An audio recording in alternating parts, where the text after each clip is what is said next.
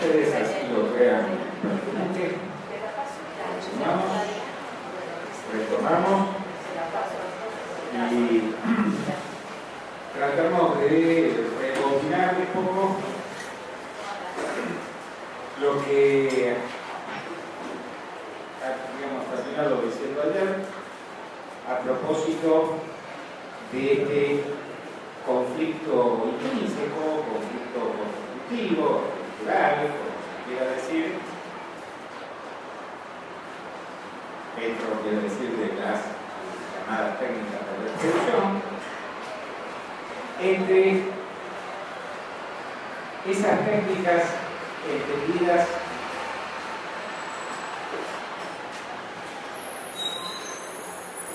como un, conteniendo un potencial emancipador.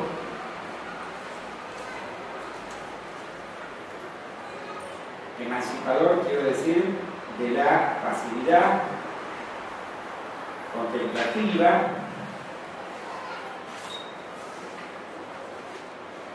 Que está implícita en la experiencia práctica entre eso digo, ya también siempre posible naturalización, estandarización y liquidación de ese posible potencial. Ahora bien,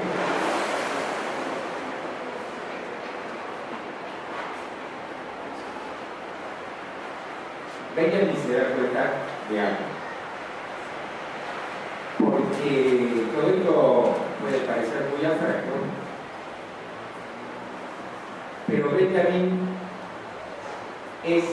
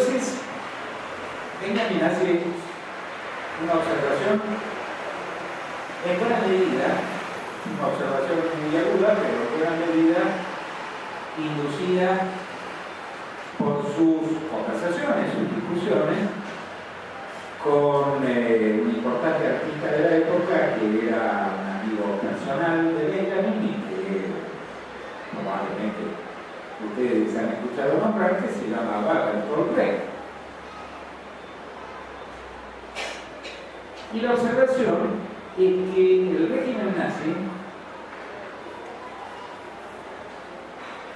entre muchas otras, introduce una gran novedad que está estrechamente vinculada con toda esta cuestión que estamos discutiendo, y es que es el régimen que por primera vez, el régimen político, que por primera vez utiliza con una enorme, enorme eficacia, sabiduría e inteligencia las técnicas de reproducción. Hoy diríamos los medios de comunicación de masa y entre ellos, por supuesto, el cine, Bueno, la radio, la televisión, por suerte, todavía existía. También sería una suerte quizá que no existiera hoy, pero más suerte es que no existiera, por lo menos en 1993, ¿no? La cosa se hubiera sido aún peor. Eh,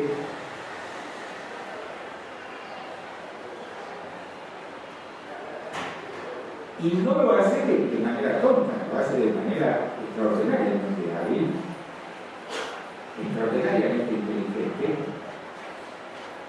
Se podrían citar muchas cosas a este respecto. Se podría citar, por ejemplo, el gran uso que hace del cine una directora alemana, directora de cine, una realizadora de una enorme inteligencia y sensibilidad, que es alguien que revoluciona en muchos sentidos el arte del cine documental y cuya obra todavía hoy se estudia por buenas razones en las escuelas de cine,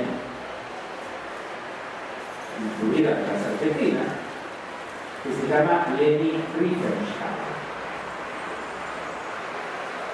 Una mujer que murió hace muy poco tiempo, creo que a los 102 o 104 años, por favor, no citen refranes a propósito de Guillermo Armada Montaner y todo eso.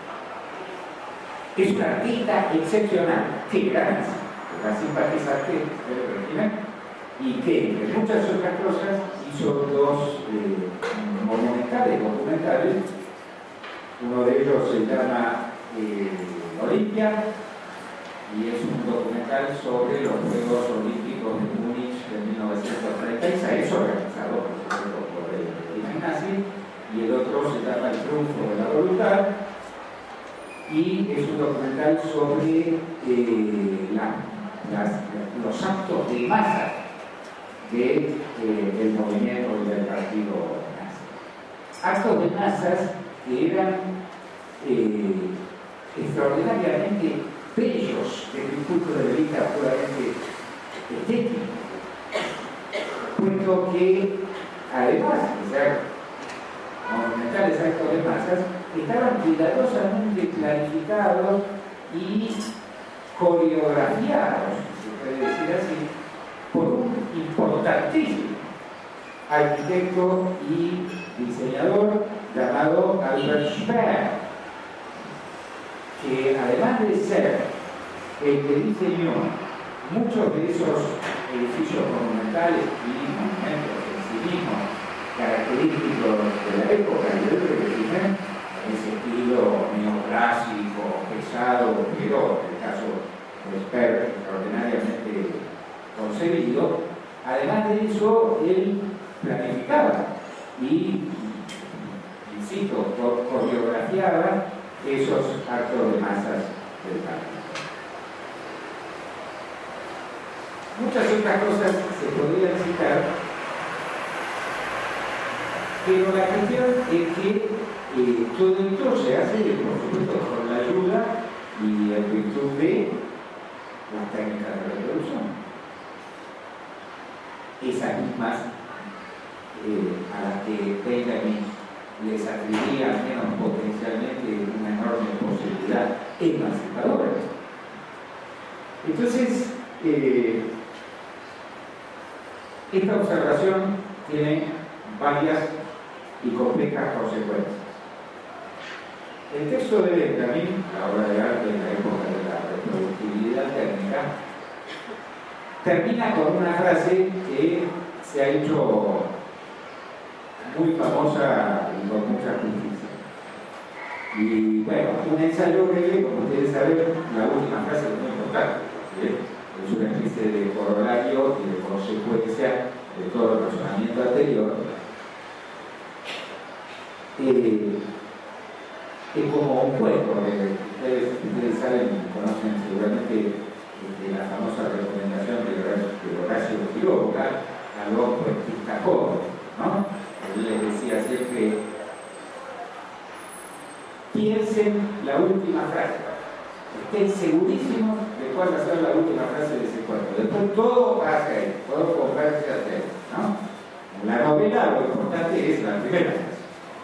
Entonces, a partir de ahí se arranca las próximas 400 o 500 páginas, pero en un cuento breve hay que empezar por saber cómo va a terminar, aunque no se sepa el esqueleto que viene y lo a terminar así. Bueno, en el caso de un ensayo breve, como el de también pasa una, una cosa semejante, que es que no solamente esa última frase es la consecuencia horario de todo lo anterior, sino que una vez que uno la lee, en realidad tendría que leer de nuevo todo, todo el ensayo, porque cambia de varias maneras eh, decisivas la perspectiva.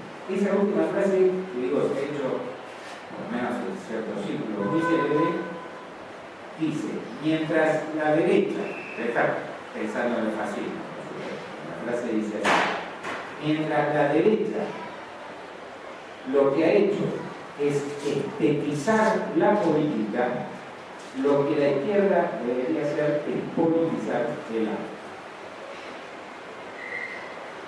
Esto dice fácil, pero es de una complejidad enorme.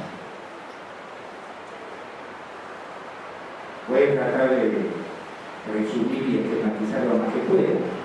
¿Qué quiere decir Benjamin con estetizar la política?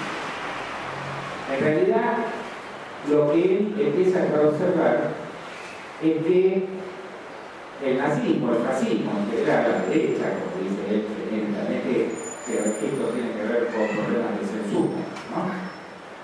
Eh,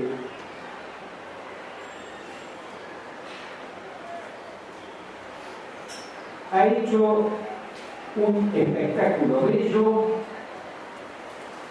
del horror de la violencia característica de ese régimen. Benjamin dice, la derecha lo que hace es monumentalizar la experiencia histórica de los sujetos.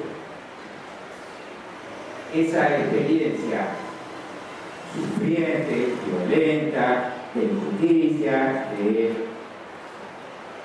o sencillamente la experiencia, se transforma en un espectáculo para la contemplación. Traten de evocar todo lo que dijimos en el día de ayer a propósito de la transformación en el arte occidental de las obras de arte como objeto para la contemplación acá tenemos otra vertiente donde eso puede suceder y que paradójicamente es una vertiente también de vanguardia.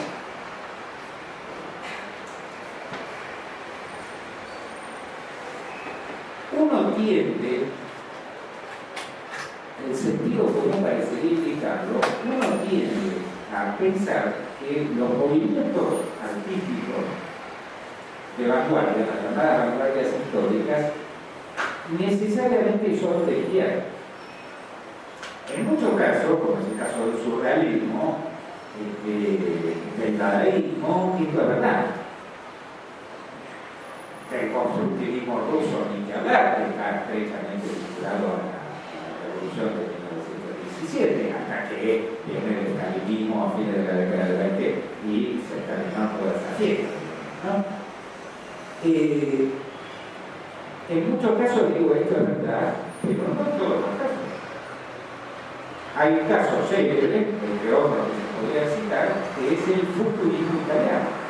El futurismo italiano, movimiento de vanguardia de enorme importancia, el futurismo italiano eh, ya desde el principio se fascinó con, simpatizó con y adhirió a el movimiento fascista.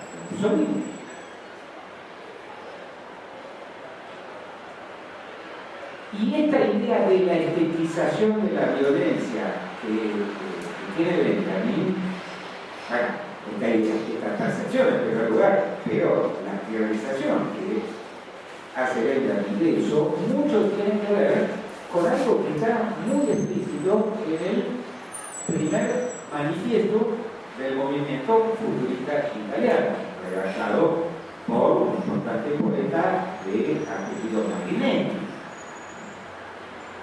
ese manifiesto que desgraciadamente no se me ocurrió caérselo para leerlo textualmente, valdría la pena, voy a tratar de hacerlo lo mejor que pueda con las frases este, pertinentes para esta discusión. Se dice, por ejemplo, que no hay espectáculo más bello que el de un, uno de esos nuevos, de esas nuevas maravillosas maquinarias llamados tanques, escupiendo sus lenguas de fuego sobre la multitud. Y que no hay espectáculo más sublime, obra de arte más estimulante, que otras de esas nuevas maravillosas máquinas llamados aviones, a ustedes que la Primera Guerra Mundial, por primera vez es una guerra plenamente tecnológica. Lo más avanzado de la tecnología se usó para fabricar estas cosas nuevas que son los tanques y los aviones. Ahí se usaron, se usó la tecnología por primera vez para respetar un genocidio entonces, está en el cierto espíritu de la época, además lo paradójico lo podríamos decir, en cierto modo, del manifiesto surrealista. El manifiesto surrealista, redactado por André Breton, que era afiliado al Partido Comunista, en ese manifiesto se dice que un acto verdaderamente surrealista sería salir a la calle con una pistola en cada mano y empezar a matar gente al azar. Eso sería un acto sobre. Es una provocación, es una especie de, hecho, de provocación lanzada, es un taco lanzado al rostro de, eh, podríamos llamarlo la corrección artística o cultural, todo lo que ustedes quieran, pero las palabras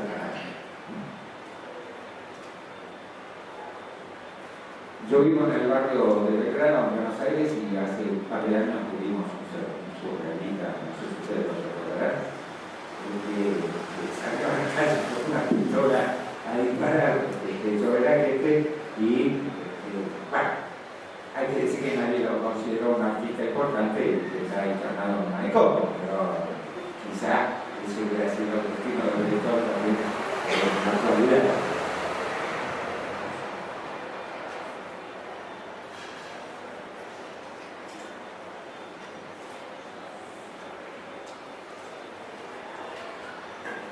Entonces, cuando eh, Benjamin hace esta oposición entre estetización de la violencia y por extensión de la política, que la política siempre en algún punto es también violenta, por supuesto.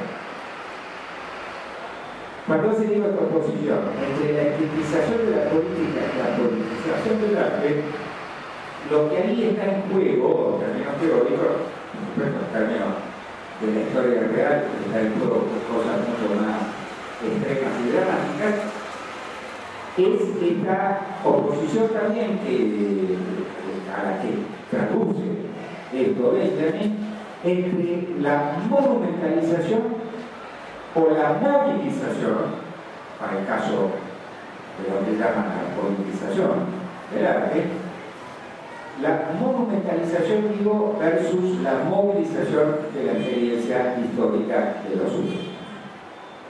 Ahora, eh, eh, hay, que tratar de entender también bien esto. Esa monumentalización o esa movilización de la experiencia histórica se hace con los medios específicos del arte. Lo que quiero decir es que no tiene nada que ver con los contenidos temáticos explícitos de la obra. Eh, eh, más o menos se entiende lo que estoy diciendo. A ver, eh, yo puedo decir voy a politizar el arte en el sentido general y entonces voy a hacer una pintura o una película o escribir una novela, no importa, o hacer una estatua, no importa, que represente heroicos, obreros con una hoz y una mano, en una mano y un martillo en la otra, ocupando una fábrica o tomando el palacio de invierno este, en Moscú en 1917.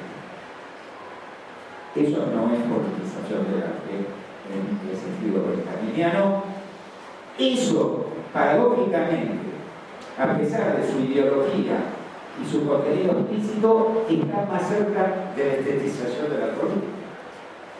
Están más cerca de esta transformación de una experiencia violenta, de una experiencia eh, llena de dinámica, llena de cambios, de contradicciones, de idas y vueltas, su transformación en un espectáculo bello, ahistórico y eterno.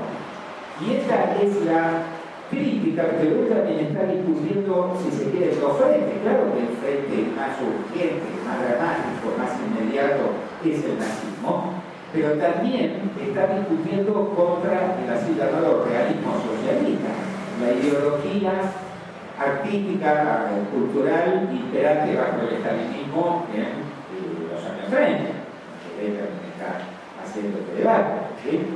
Entonces, no se trata de contenido explícito, por supuesto, también se puede hacer con esos contenidos explícitos, pero quiero decir que no es ese el criterio para juzgar si se está monumentalizando o se está movilizando la experiencia histórica. Con los medios específicos del arte. Y los medios específicos del arte son aquellos que solo son del arte. Porque con ese retrato de los obreros tomando la fábrica, yo también puedo hacer un panfleto directamente político, un afiche de propaganda o eh, una, una, exhortación por la lo, que fuera. Entonces, ¿qué quiere decir con los medios específicos del arte? Bueno, para apelar simplemente a un ejemplo que ya conocemos, todo lo que dijimos ayer a propósito del lenguaje cinematográfico, que moviliza la experiencia de los sujetos, que solicita estructuralmente, potencialmente, solicita sujetos activos, sujetos que construyan hecho el sentido de lo que están viendo, de lo que están leyendo, o de lo que fuera y no sujetos que contemplen su propia experiencia histórica como si fueran monumentos hechos para la eternidad, inmóviles, estáticos. ¿Se entiende un poco más ahora? Bueno, esta diferencia tiene mucho que ver con la cuestión del fetichismo. No tenemos tiempo de abundar en la cuestión, pero digamos que llamamos fetichismo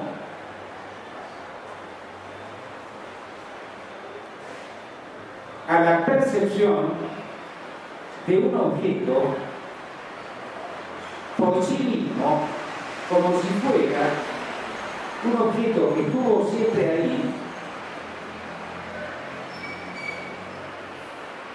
que lo tomamos tal como es en la actualidad, como si siempre hubiera sido igual, y sobre todo, como si no fuera el efecto de un proceso de elaboración previo. Otra vez, esto es lo que decíamos ayer a propósito de la ideología y el fetichismo, la operación fetichista es el núcleo lógico de todo el curso ideológico, cuando decíamos, a propósito de la ideología, hablábamos de la confusión de la causa con el efecto, de la parte con el todo, y ahora podríamos agregar de la naturaleza con la cultura, en el sentido de que nos tomamos como leyes de la naturaleza cosas que son construcciones histórico-culturales, y así sucesivamente. Entonces,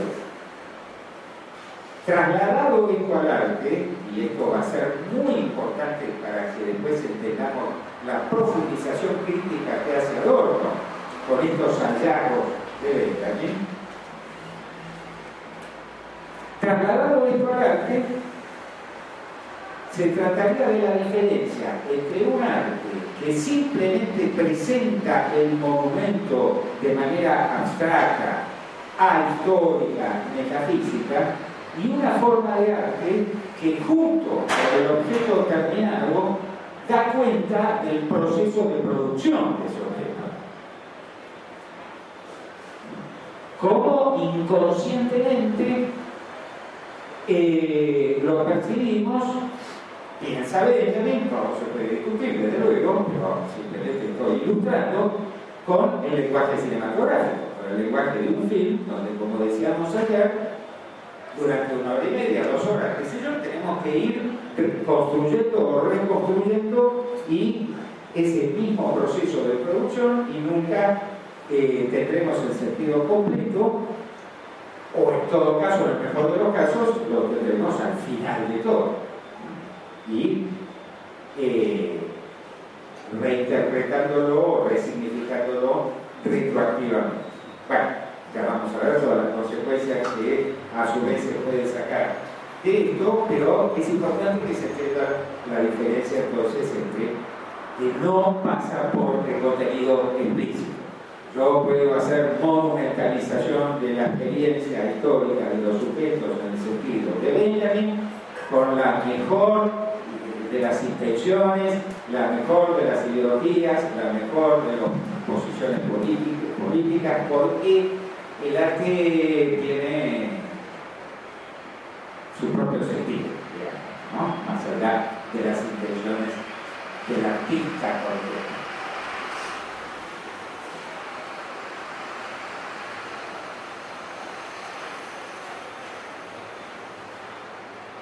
¿De dónde viene para ello? Dentro de lo que él denomina los medios específicos, las lógicas específicas del discurso estético, de la producción de eh, objetos llamados obras de arte. ¿De dónde viene esta posibilidad de estetización de lo político?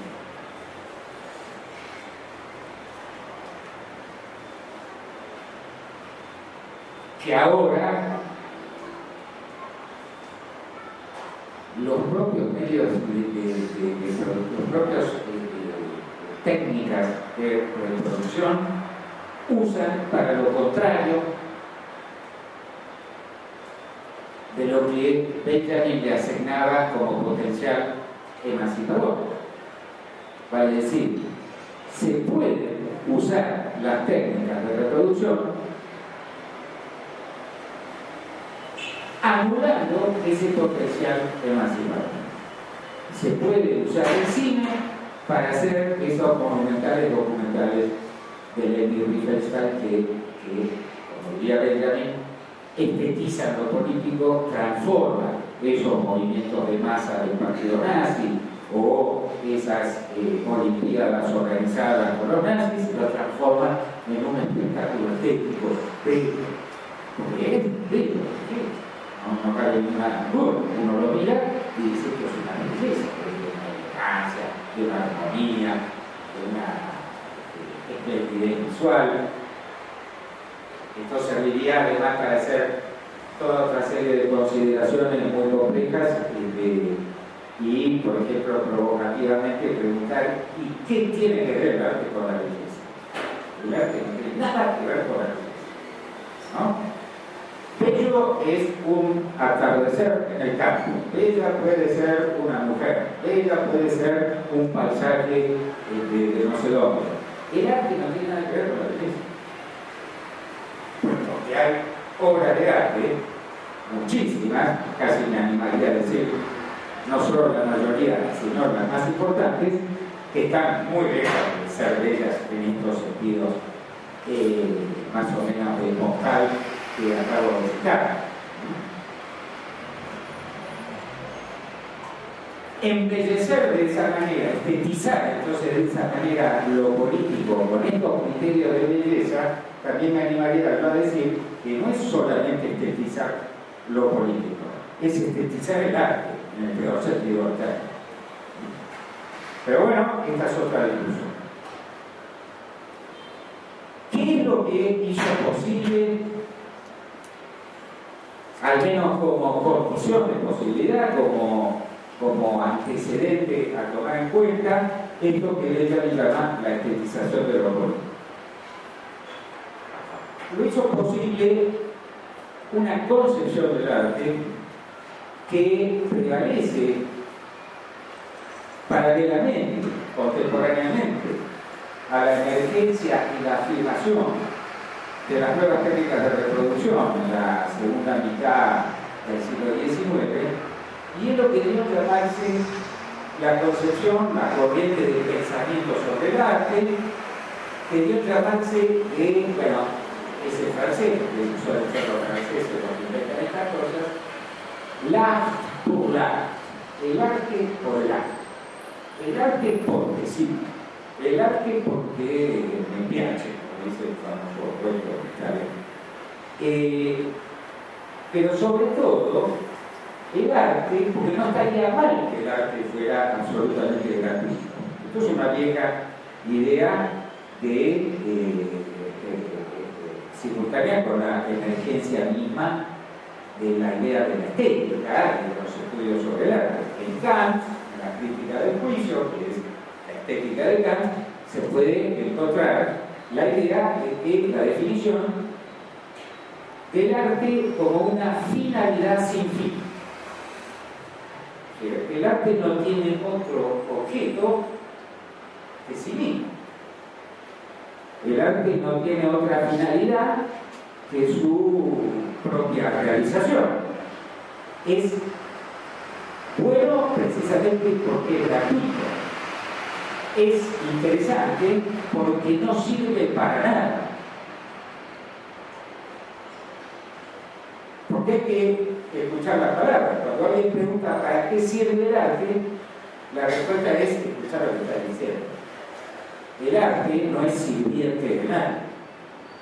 El arte es, es un en todo caso, en el que hace lo que quiere, ¿no? Hace lo que se le da la Todo esto está muy bien y, es una posición que yo defendería por muchas razones. Ahora bien, esto solo es concebible en la modernidad. Una de ellas, porque antes teníamos el arte cultural y en otras sociedades tenemos que al menos ciertos aspectos de eso que llamaríamos la obra de arte también son, sirven, y ahora en el buen sentido del término, sirven para otras cosas sirven para hacer un buen ritual religioso, o sirven como el cuchillo que yo citaba ayer para cortar bien la carne, qué sé yo, ¿cierto? Pero bueno, es otra cosa. Entonces acá se mezclan una cantidad de aspectos contradictorios. Porque esta corriente de pensamiento, esta posición, esta concepción frente al arte, que dice el arte por el arte, dice al mismo tiempo, crea una suerte de ilusión, de imaginario, de ideología, a propósito de la absoluta autonomía de la obra de arte. Es decir, la obra de arte nada tendría que ver con la historia, nada tiene que ver con la política, nada tiene que ver con la economía, nada tiene que ver con la sociedad, nada tiene que ver con nada más que consigo mismo es una especie de eh, urano platónico, ¿no es cierto?, pura esteticidad, que no está contaminada por las miasmas de la vida, de la existencia social, histórica, Hay muchos sentidos en que es defendible que así sea, pero él también dice, el problema que tiene esto es que es falso porque inevitablemente, ya lo hemos visto, en la modernidad, entre otras cosas, el arte sí ha sido contaminado por su carácter de mercancía. El arte está inmerso en el mundo de lo económico, de lo industrial, que es la esfera dominante en un sistema capitalista. Entonces, eh, una cosa es que uno diga que eso está mal, no debería ser así, y otra cosa que crea que efectivamente no es así. Le está ocultando, digamos, eh, estos vínculos, esta relación contaminante entre la obra de arte y el mundo en general. Y esa es la fuente, dice Benjamin, de la estetización de la posibilidad de estetización de los políticos. Lo cual puede parecer a primera vista una afirmación extraña.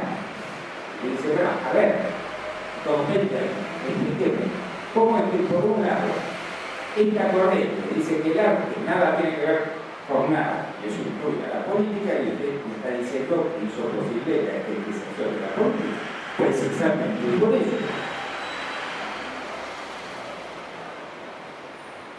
Porque si el arte es pura estética, cree ser pura estética, pero por otro lado sabemos que no es así, que está contaminado, entonces cuando yo niego la segunda parte y digo el arte es pura estética, entonces cualquier cosa puede ser estetizable, cualquier cosa puede ser arte.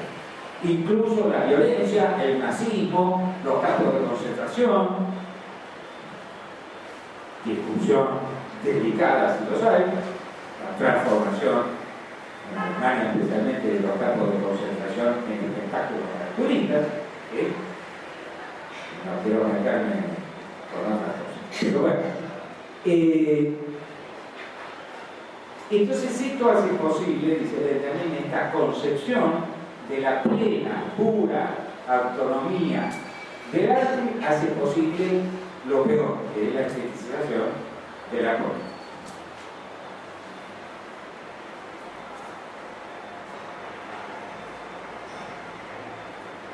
Hasta ahí está todo muy bien, pero este es el momento en que hace su entrada en escena el profesor Teodoro W. Adorno. Y dice muy bien, pero un momentito. Eh, usted tiene razón, pero quizá no está. No hay un explícito debate eh, así formal, digamos, entre Benjamin y Adorno, pero nosotros lo podemos inventar. Existe correspondencia, donde discuten a veces muy duramente, sobre todo por parte de Adorno, muy duro, a veces muy injusto. Benjamin al cual consideraba su maestro, por otra parte, punto de vista teórico tenía un inmenso respeto, pero bueno, en todo caso esto demostraría injusticia no que era un buen discípulo, un buen discípulo lo que hace es no perdonarle nada al maestro, criticarlo ¿no? rigurosamente y con toda la energía que sea Entonces Adorno lo acusa Benjamin de ser poco dialéctico. De, en todas estas consideraciones, tomar un aspecto de la cuestión y olvidarse del aspecto contrario, que está siempre en eh, tensión con el pecado. Por ejemplo, dice Adorno, Benjamin tiene toda la razón del mundo.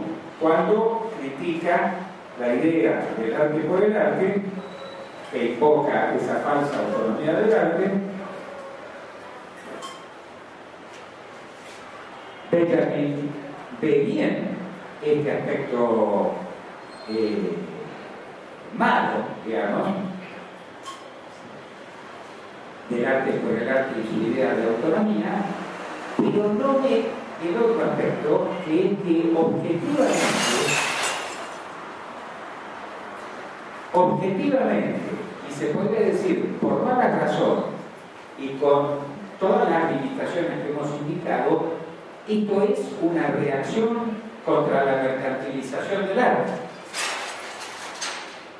Claro que la reacción no pasa una pelea contra de la mercantilización del arte, sino que pasa por la negación, diríamos psicoanalista, de la mercantilización del arte. pero no deja de ser un síntoma que tenemos que saber escuchar.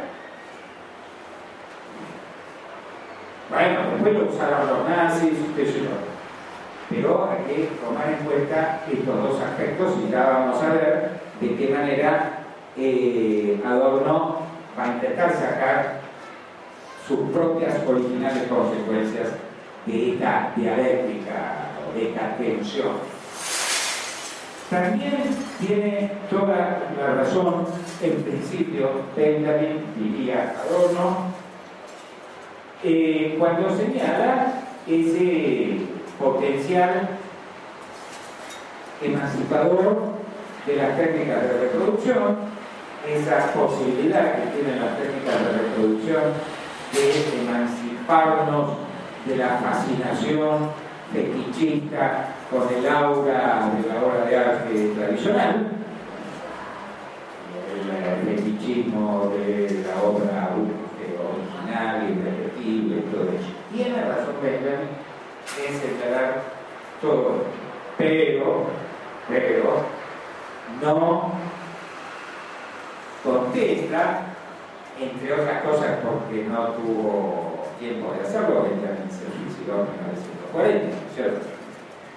no contempla que eh, bajo lo que Adorno y Horkheimer van a llamar la industria cultural, tema sobre el cual no hemos dicho nada y vamos a decir mucho mañana, pero ahora lo denuncio simplemente, bajo el régimen, la lógica de esa industria cultural, ese potencial queda dominado,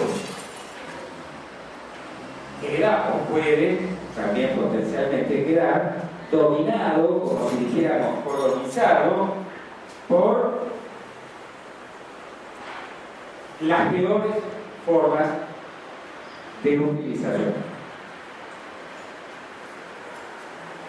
Como el propio Benjamin ha observado respecto de la utilización de las técnicas de reproducción, de los medios de comunicación de masa que hace el nazismo. Es decir, no es que Benjamin es un inocente, es un ingenuo que cree que todo es positivo. Él también es dialéctico.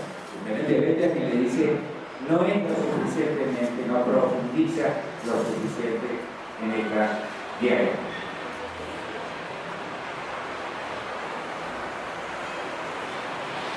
También tiene razón absolutamente Benjamin en señalar que las técnicas de reproducción tienen la capacidad de movilizar la experiencia histórica de los sujetos. Pero esa movilización de la experiencia histórica de los sujetos no es la única posibilidad de movilización a través de otra vez el nazismo está mostrando otras posibilidades de movilización, porque acá hay una cuestión muy importante sobre la que vamos a abordar eh, desde un par de otras perspectivas.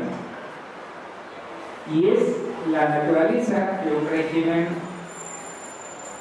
como el nazi, un régimen político, como el nazi, o en general lo que se ha dado a llamar es un concepto muy discutible, pero vamos a usarlo para hablar rápido, los regímenes totalitarios. Estos regímenes tienen una diferencia esencial respecto de cualquier otra forma de régimen autoritario, despótico o dictatorial. Y es, para decirla rápido, que las dictaduras tradicionales, las dictaduras militares, por ejemplo, como las horribles dictaduras que hemos conocido nosotros mismos, pero que no fueron desde este punto de vista nazis, hay que buscar otro término para calificarlas, esas dictaduras tradicionales, o clásicas, o convencionales, digamos, digámoslo en términos barriales, lo que quieren es que la gente se quede quietita en su casa. Que no piense, que no jorobe, que no salga a la calle si fuera posible. Mientras que los regímenes llamados totalitarios, y muy en particular el nazismo y el fascismo, sacan a la gente a la calle, movilizan a la masa. En apoyo del régimen, unilateralmente, y la movilizan en contra de otra parte de la sociedad, movilizan a los arios en contra los judíos, lo que corresponde en cada caso, ¿no es cierto?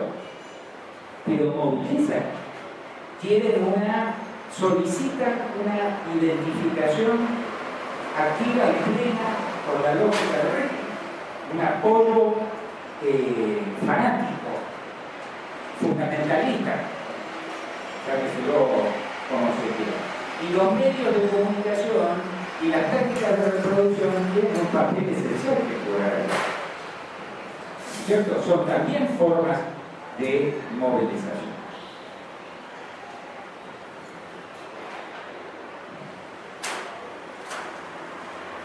Entonces, por eso los nazis pueden usarlo, pero no de la manera en que Benjamin piensa cuando habla de la movilización de la experiencia histórica, sino con otra lógica de movilización que incluye la inmovilización simultánea, que significa eso que Benjamin llama la monumentalización de la experiencia histórica.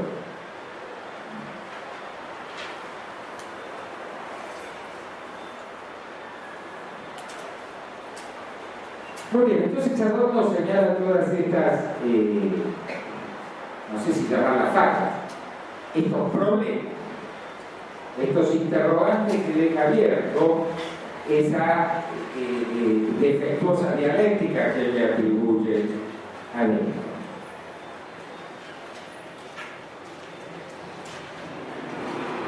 ¿Cómo aprovechar estos otros aspectos que, se, que le señala Don Mario? ¿Qué respuesta qué solución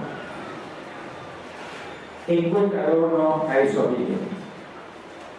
Y desde ya, tratándose de Adorno, cuando decimos solución, decimos qué nuevo problema, qué nuevas formas de interrogación crítica, ¿no es cierto?, para problemas que por definición nunca pueden ser plenamente satisfechos nunca se puede encontrar la respuesta última, la receta final que nos permitiría eh, cerrar el libro y irnos a dormir tranquilos.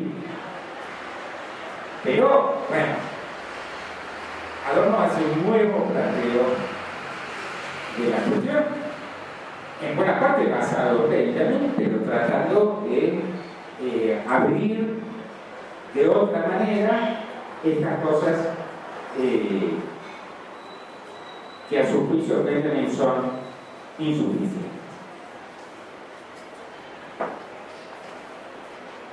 Se puede pensar, se puede rescatar, es una primera pregunta, ¿cierto? Que eh, se haría Se puede rescatar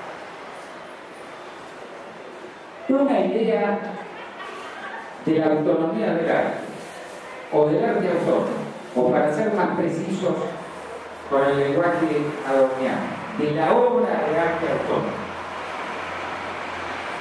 Se puede, digo, rescatar una idea de autonomía de la obra de arte que no caiga, que sea diferente a eh, las ilusiones ideológicas falsas de arte por el arte y todo eso, Y si se pudiera, ¿qué consecuencias tendría esto para una teoría crítica de la cultura?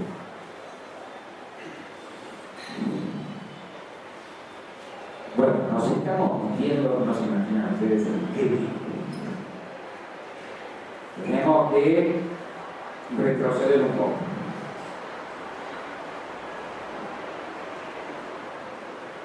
para abrir un poco la perspectiva y tratar de ver un poco más panorámicamente desde dónde, desde qué tipo de posiciones, consideraciones, concepciones previas Adorno va a terminar buscando esta cuestión de una nueva idea de la autonomía de la obra.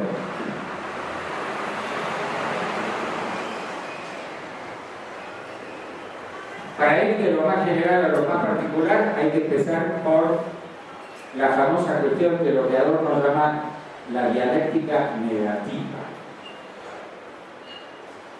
Una expresión que titula uno de sus libros, bueno, a mi gusto, su libro más importante,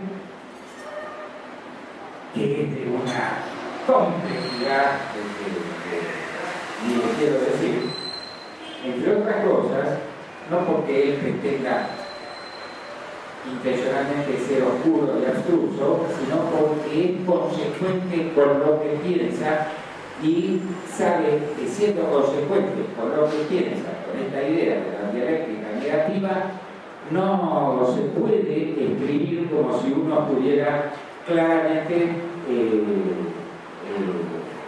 eh, emitiendo un recetario de de hipótesis y respuestas a esas hipótesis, ¿no? Él escritura tiene toda clase de meandros, va y vuelve, todo el tiempo eh, algo y al mismo tiempo su contrario, y entonces trata de, habiendo enunciado ese algo y su contrario, pasar al siguiente, eh, a la siguiente etapa que lo va a obligar a volver sobre ese algo y su contrario a toda una paz háganlo. Eh, de todas maneras,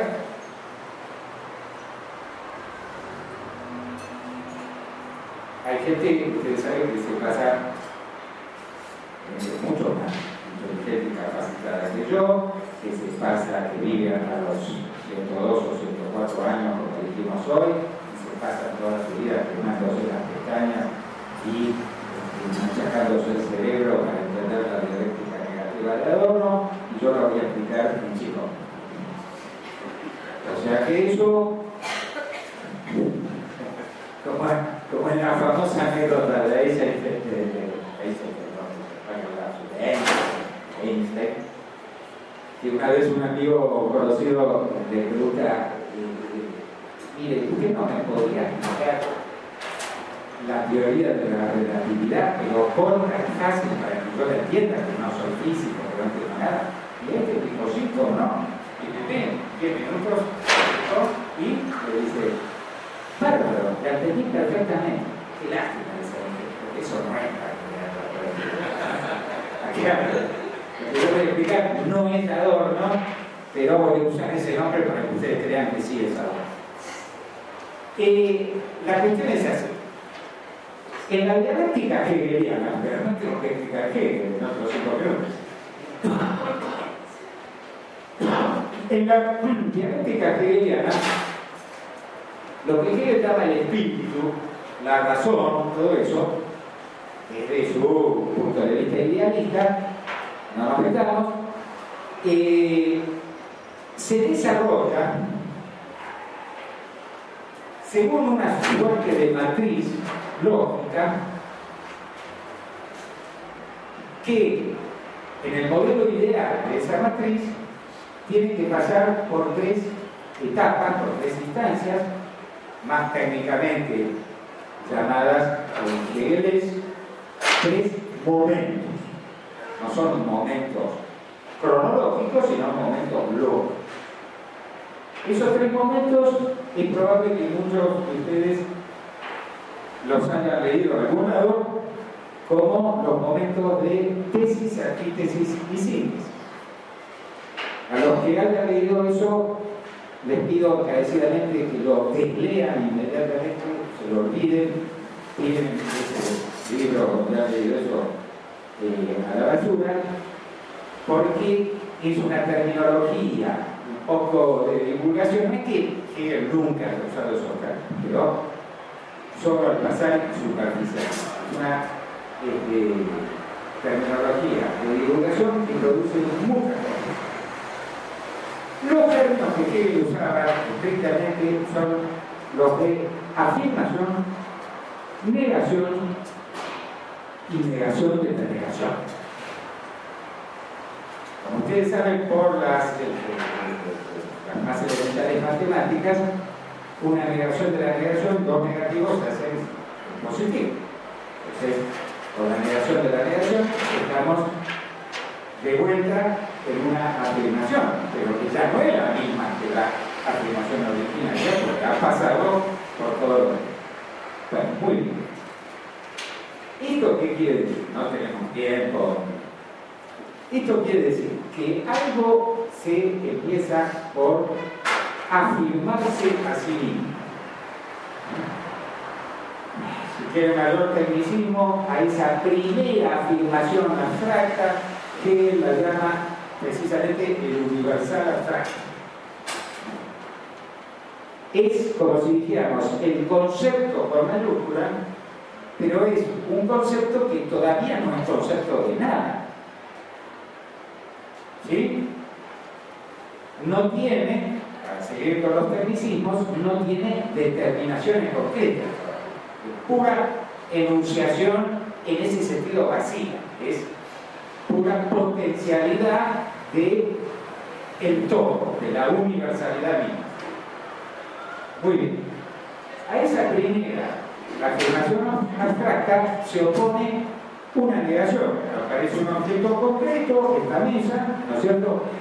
Y le dice al universal abstracto, no, señor universal abstracto, usted no es todo lo que existe, acá estoy yo, que son una mesa de eh, un metro y medio de largo por 54 centímetros de ancho, tengo cuatro patas o seis, o tres, voy a dar una mesa también, entonces no sería rectangular, claro, mesa redonda, y, estoy hecha con madera de roble, ¿no es cierto? Y eh, me hizo un carretero que se llama Pilar de hace 43 años, 6 meses, 2 días y 5 horas. Es decir, este objeto particular, que no se parece a ninguna otra cosa, está llena de determinaciones concretas, de características que le pertenecen solamente a, este objeto. Entonces,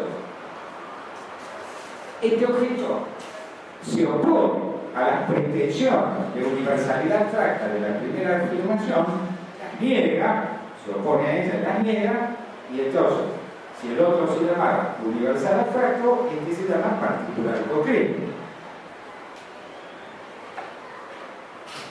Parémonos un momento acá, la tercera parte, ¿no es cierto? Pero parémonos un momento acá, porque la situación que tenemos acá, aunque parezca muy abstracta, entre en esta relación de oposición entre el universal abstracto y el particular conflicto, la situación que tenemos es la de un conflicto que no tiene solución posible.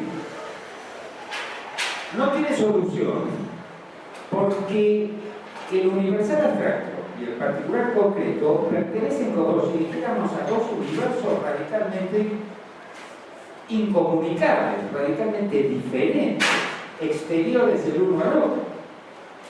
No hay, por así decir, un código común entre ellos que permitiera siquiera acercarse, por ejemplo, a la mesa a discutir. ¿no? Es como si uno hablara de alemán, que se trata de que y el otro hablara japonés o árabe. No hay manera de hacerlo. Hay un conflicto que no se puede resolver. Uno podría decir extendiendo el término, por lo tanto, un conflicto verdaderamente trágico si uno acepta que lo característico de lo trágico es precisamente que hay un conflicto. Cualquier tragedia griega, lo que sucede siempre que hay un conflicto que no tiene solución posible. Todos pierden y nadie gana. O todos ganan, o lo tanto, nadie gana ganar quiere decir que hay que pierda, ¿no? Y perder quiere decir que el otro acá no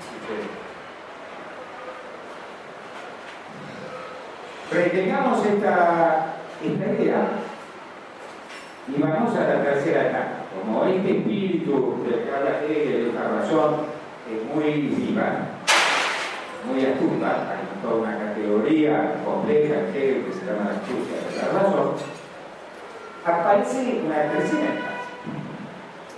que dice, bueno, un momento, un momento. Señor particular concreto, usted tiene toda la razón del mundo, pero convengamos, por lo menos, usted no es la única mesa que existe en mundo que se encabeza por todas estas singularidades, digamos, pero hay muchas más. Entonces, podemos decir que hay por lo menos una instancia, entre comillas, universal, si bien es un universal más restringido, más eh, chico, más limitado, ¿no es cierto? Que es monumental universal abstracto que le había parecido al principio, hay una, un universal que es la categoría de las mesas. ¿Cierto? La especie, si fuera una especie botánica, diríamos, o zoológica, diríamos la especie de las mesas. Bueno, sí, eso existe. Entonces, este tercer momento ya no es el universal abstracto ni el particular concreto, es el universal concreto. Es decir, es un universal, pero que ahora sí tiene ciertas determinaciones específicas. Tiene, se ha llenado de cierto contenido particular. El problema con este tema, hay debates inmensos, bibliotecas monumentales extintas a propósito de esto que yo voy a decir ahora con absoluta irresponsabilidad y interés. Pero, una vez más, lo que quiero es dibujar la cuestión. El problema con este razonamiento es que esta última instancia pareciera, al menos en principio, resolver el conflicto que se había planteado. Y eso hace que el centrarse en esta última instancia sea una posición profundamente conformista.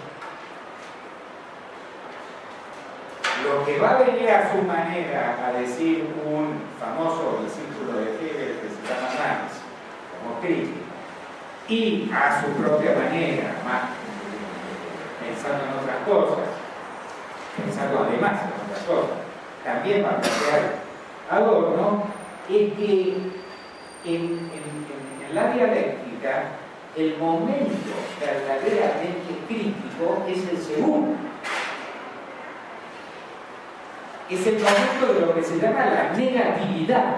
De ahí que yo ayer hacía el chiste sobre que en la escuela de Frankfurt lo negativo es bueno y lo positivo mal. El tercer momento es una positividad que este, reconcilia los términos, reconcilia ilusoriamente los términos que antes estaban en conflicto. Entonces Adorno dice, no, tengamos el coraje intelectual e incluso existencial, de pararnos en el segundo momento, de pararnos en la perspectiva del conflicto que no tiene solución. Porque ese es la plataforma que nos va a permitir hacer una consecuente crítica de la realidad. Porque en la realidad hay intereses dominantes están interesados en que parezca, que no hay ningún conflicto, o por lo menos que los conflictos se pueden resolver dentro de los límites de la realidad actualmente existente. Se puede encontrar ese tercer momento de lo que Adorno va a llamar reconciliación. Pero como nosotros sabemos que la realidad actual no es así, sino que está atravesada por toda clase de conflictos que tienen que ver con el poder, con la dominación, con la injusticia, con la explotación, con la eh, guerra, con las, este, todo lo que se podría citar, tengamos, dice el corajeador, ¿no? de observar esa realidad desde ese segundo momento del conflicto que no es resoluble dentro de los límites del sistema de la realidad actualmente existente. Porque ese es el momento que nos va a permitir denunciar esa realidad. Me hace señas desesperadas porque Adriano quiere tomar su café, no sé qué le pasa. Y entonces, es por, por lo de abajo. ah, entiendo, entiendo. Entonces vamos a hacer nuestra ya tradicional pausa de 10 minutos, tomamos un cafecito, lo que sea.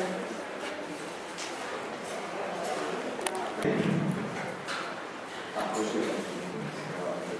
Digo que tenemos que seguir.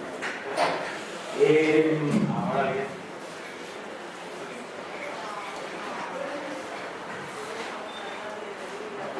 El momento verdaderamente crítico, entonces, decíamos, es este segundo momento de la negatividad, es decir, de la oposición a la idea de someterse a lo existente.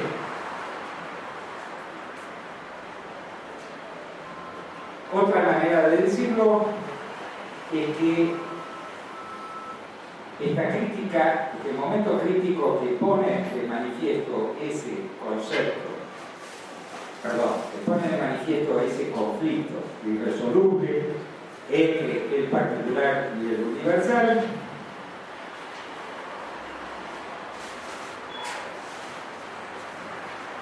supone el rescate, la defensa precisamente de esa particularidad concreta.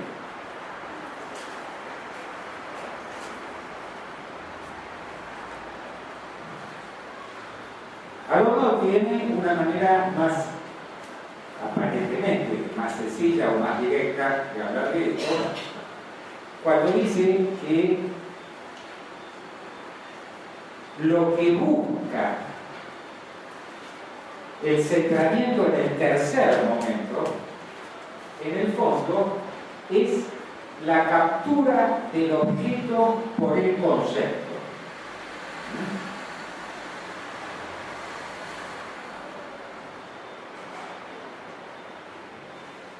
Captura dominación del objeto por el concepto cuya consecuencia es la eliminación de esas, precisamente de esas particularidades concretas, eso que hace que un objeto singular sea estrictamente irreconciliable con el concepto general.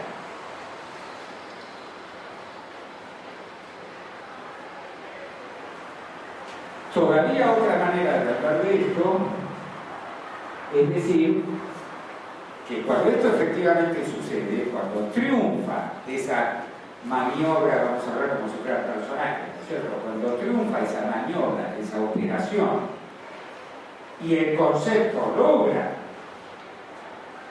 capturar plenamente al objeto, logra disolver dentro de su abstracción conceptual todas esas particularidades concretas del, objeto, a eso se le llama, Adorno lo llama, pensamiento identitario. Vale decir, una forma de pensamiento donde se produce, o se busca producir por lo menos, una identidad plena entre el concepto y el objeto, entre la generalidad del concepto y la particularidad del objeto.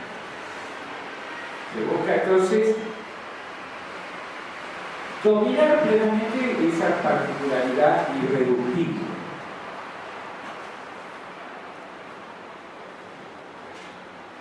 Todavía otra manera de hablar de esto, que no es literal, literalmente de adorno, pero creo que no es injusto decirlo así, es que a eso se le llama ideología dominante.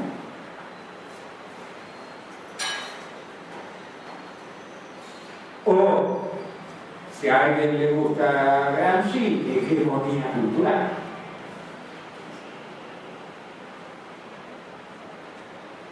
Porque es una forma del pensamiento dominante que logra, digamos, hacernos creer que haya una plena reconciliación entre el concepto y el objeto. Y que eso es posible.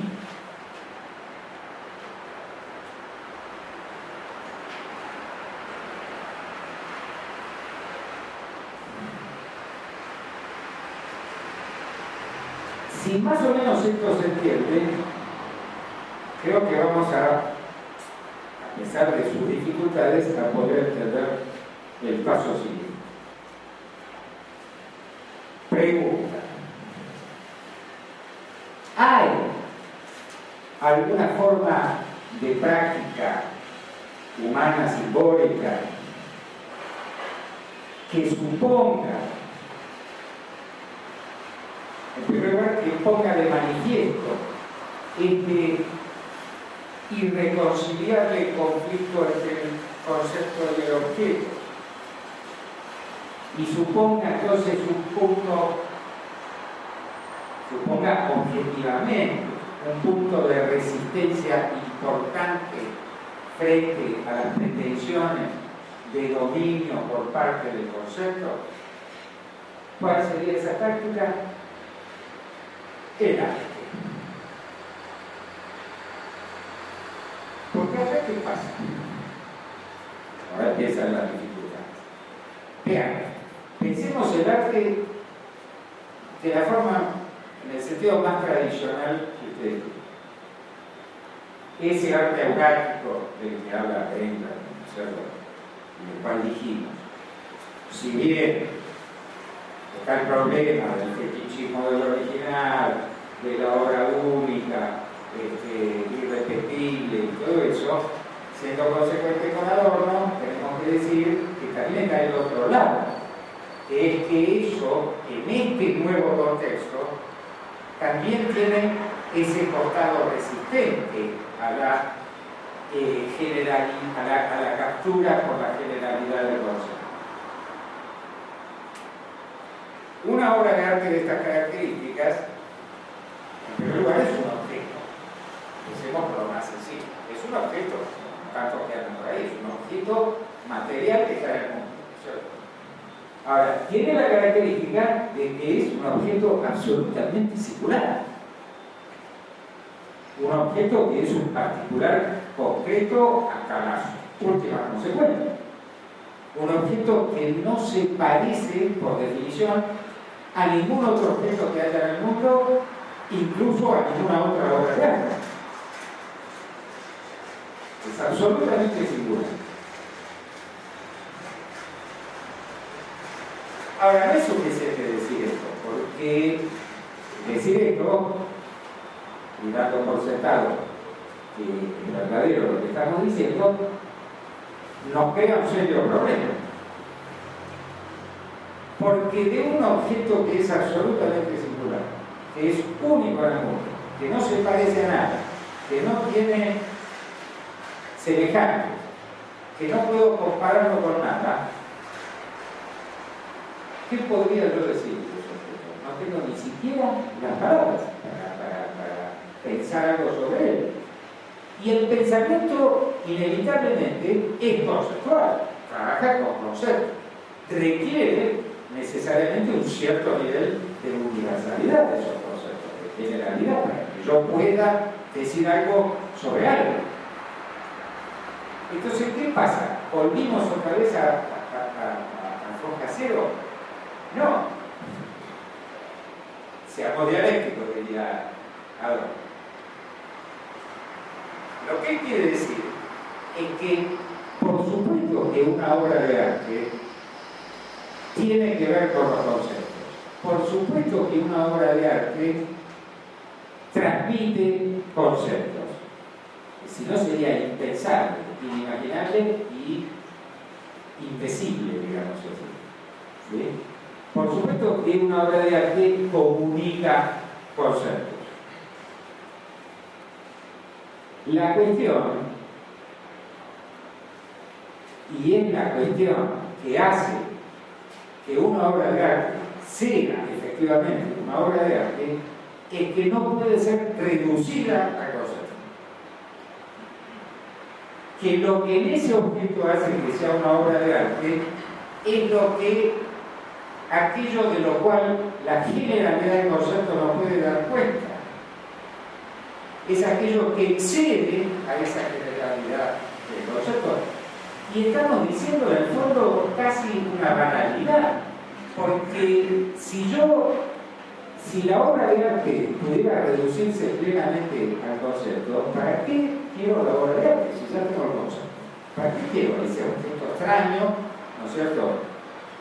Bueno, lo quiero precisamente porque no lo puedo reducir al concepto, porque hay siempre un detalle, una aparente nimiedad, algo que en jerga hegeliana el propio Adorno llamaría un momento de ese objeto que no le entra al concepto, que le sobra al concepto, que es un exceso es un recto del cual el concepto no puede dar cuenta.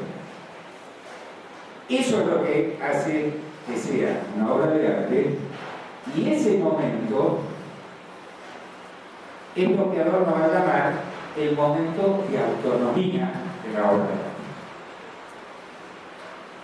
Ni siquiera es la obra de arte como tal que es autónoma, sino cierta cosa, cierta singularidad que existe en esa obra de arte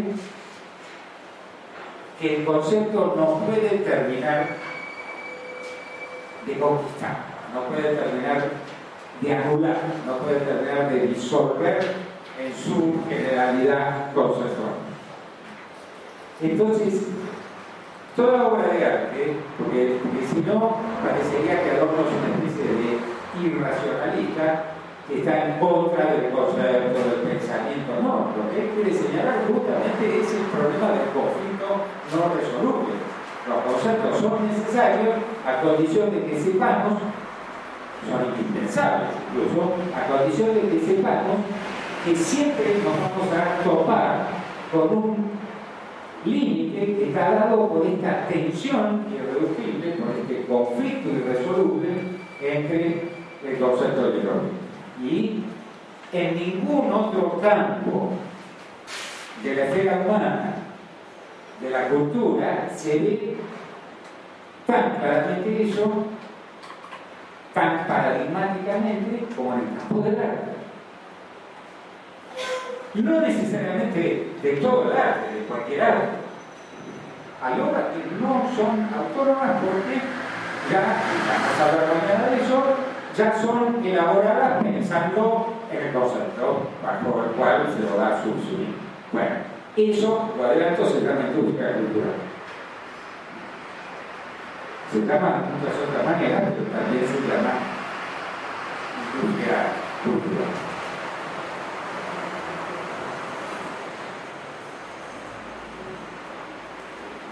Ahora bien,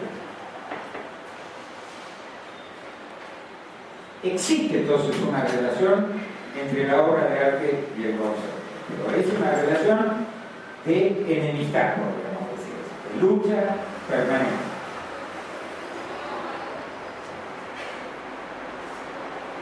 En cierto modo ese momento de autonomía irreductible al concepto que contiene la obra de arte está todo el tiempo como si dijéramos subvirtiendo la pretensión de universalidad del proceso.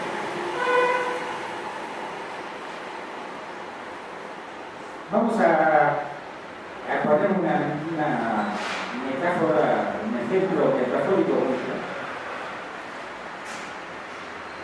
Ayer hablamos del impresionismo y de cómo el impresionismo trasladaba el centramiento en el objeto, en la realidad exterior, al centramiento en la mirada, entre comillas, subjetiva del artista, en la expresión del artista, se puede decir así. Entonces, cualquier obra de arte tiene es una, un objeto muy complejo, por supuesto, pero generalizando conceptualmente, podríamos decir que cualquier obra de arte tiene dos grandes componentes, lo que se llama apariencia y lo que se llama expresión. Toda obra de arte tiene una apariencia. Algo que se ve si es una pintura o se escucha si es música o lo que corresponde. Entonces, bueno, estamos hablando de impresionismo, digamos que nos confrontamos en el museo con eh, el cuadro de los girasoles de Van Gogh. Cuadro típicamente impresionista o post-impresionista de la ¿no? hecho con la técnica impresionista. Como también decíamos ayer, en el museo tenemos esa raya roja o amarilla y nos obligan a mirar ese cuadro a una cierta distancia. El cuadro se entiende conceptualmente, ¿cierto? Bueno, es un jarrón con girasoles, uno puede decir que está bien, son los girasoles de Van. El amarillo de los girasoles solo es de Van Gogh. Van no sé qué experimento químico hizo que un amarillo figura, bueno, es el amarillo Van Gogh. Todo ello. Pero el concepto global se entiende perfectamente lo que es y lo que representa y lo que simboliza y demás. Ahora, cometamos la transgresión de cuando el guardián está mirando por otro lado, pasar la raya amarilla, ir acercándonos cada vez más al cuadro hasta, si podemos pegar la nariz, y desapareció todo. Desapareció la apariencia. La técnica impresionista, vieron ustedes que cuando una cosa es mirar la totalidad y otra cosa es empezar a mirar de cerca los detalles. Ahí se disuelve todo, es una especie de caos de, colores, de formas informes, si se puede decir así, de chorreaduras de óleo, de, eh, puntitos infinitesimales, eh, una especie de universo caótico que no tiene ninguna apariencia conceptual. Entonces podríamos hacer el paralelo diciendo que la apariencia de ese concepto, que mientras nos mantuvimos a distancia había logrado plenamente capturar el objeto y eh, esta expresión singularísima de la técnica impresionista o post-impresionista, como la usa solamente Van Gogh, es el objeto está desde adentro subvirtiendo, peleando contra y en cierto modo eh, resquebrajando y haciendo y disolviendo el concepto. Esa pelea es permanente en lo que Adorno llama la obra de arte del todo.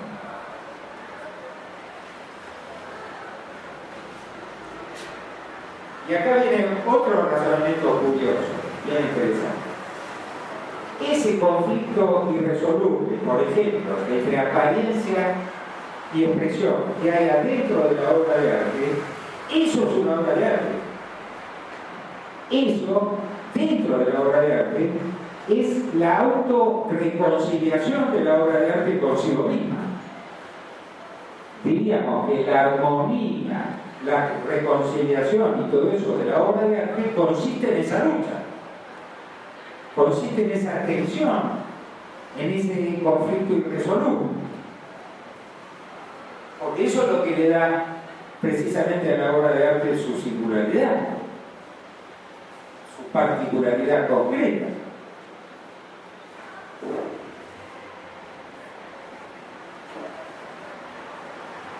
Ahora, eso no es lo que pasa fuera de la obra de arte.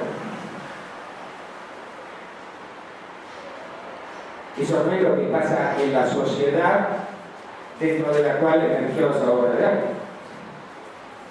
la sociedad dentro de la cual emergió esa obra de arte no está reconciliada, sino que vive en conflicto oculto por el pensamiento identitario, oculto por esa ideología dominante que pretende que la realidad del mundo está reconciliada o por lo menos es reconciliable dentro de la lógica del sistema. La obra de arte está mostrando que no, porque es como si la obra de arte dijera, mírenme a mí y miren lo que podría ser una realidad reconciliada si la realidad no fuera al por su sola existencia, por la sola existencia de ese momento de autonomía y de esa lucha interna, está creando un contraste con el mundo exterior. Otra vez, esto no tiene nada que ver, al igual que en Benjamin, con el contenido explícito, ni con el tema. Tiene que ver con esa lógica de elaboración de la singularidad de la obra.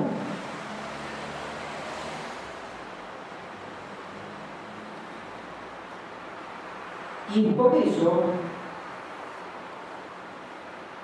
que Adorno define a la obra de arte autónoma como el producto antisocial de la sociedad. Al igual que lo que decíamos, que no se puede negar el concepto, nada entonces podríamos hacer Tampoco se puede negar esa sociedad que sí produjo esa obra de arte. Claro que esa obra de arte es un producto de la sociedad, pero en cuanto emerge, si es una obra de arte autónoma, se pone en contra. Y ese ponerse en contra, ese conflicto que tiene la obra de arte con la sociedad, es su relación con la sociedad. Seamos consecuentes con la propia premisa de Adorno. Entonces, eso es lo que al mismo tiempo permite explicar la paradoja enunciada en la teoría estética por Adorno de que cuanto menos la obra de arte está reflejando directamente, eh, representando fielmente la sociedad que lo rodea, más fuerte es su relación con esa sociedad que lo rodea. Una más, ¿Por qué? Porque más profundo y más evidente es el contraste que se crea entre la obra y el mundo circunstancial. Este es el, una cosa más, dice este es el carácter estrictamente utópico de la obra de arte Utópico en este sentido, que está como si dijéramos, hay, un, hay una expresión muy linda que Adorno toma de un gran pensador, que es un antecedente que estábamos discutiendo de ustedes, de la Escuela de Frankfurt, que es Ernest Bloch. Que Ernest Bloch habla de una memoria anticipada, como si dijéramos una memoria del futuro. Entonces la obra de arte es utópica, porque es eso, es una memoria anticipada de un mundo que todavía no existe. y que podrá o no existir en el futuro. Hay que tener mucho cuidado también con esto. Adorno dice, como gran metáfora, la obra de arte autónoma es el paradigma de todo esto, pero no es que a partir del arte se va a transformar esa sociedad injusta y en conflicto que tenemos afuera. No hay una vana esperanza en que va a ser el arte que va a cambiar las cosas, va a ser una revolución, por así decirlo. Pero no, no se confunde y es clarísimo con eso. Dice, los problemas de la sociedad los arreglará la sociedad o no se arreglará. El arte, a lo sumo, gracias que lo tenemos, puede como se dice, poner el dedo en la llaga y señalar todo lo que falta, señalar objetivamente, señalar incluso por ausencia, todo lo que falta para que esa sociedad esté verdaderamente, o tenga al menos la esperanza de alguna clase de reconstrucción. Pero no es el arte que va a solucionar la sociedad. Como dice célebremente, también se lo citó hoy alguien, Sartre, ningún libro, tampoco los míos, va a impedir nunca que un niño africano se allá. Es absurdo. Proyecto, ¿cierto? El intelectual está limitadísimo en ese sentido. Pero bueno, por lo menos dentro de sus modestos medios puede hacer los girasoles de Van o los libros de oro. Eh, ahora bien, tenemos que volver a reconducir toda esta cuestión fuimos de lo más general a lo más particular, que es el tema del arte autónomo, etc. Ahora volvamos con la que pudimos elaborar de nuevo lo que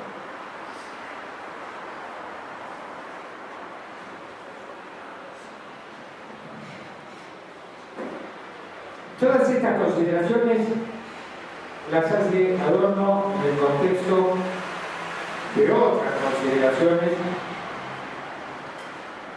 más generales sobre la cuestión de la modernidad, de la cultura moderna.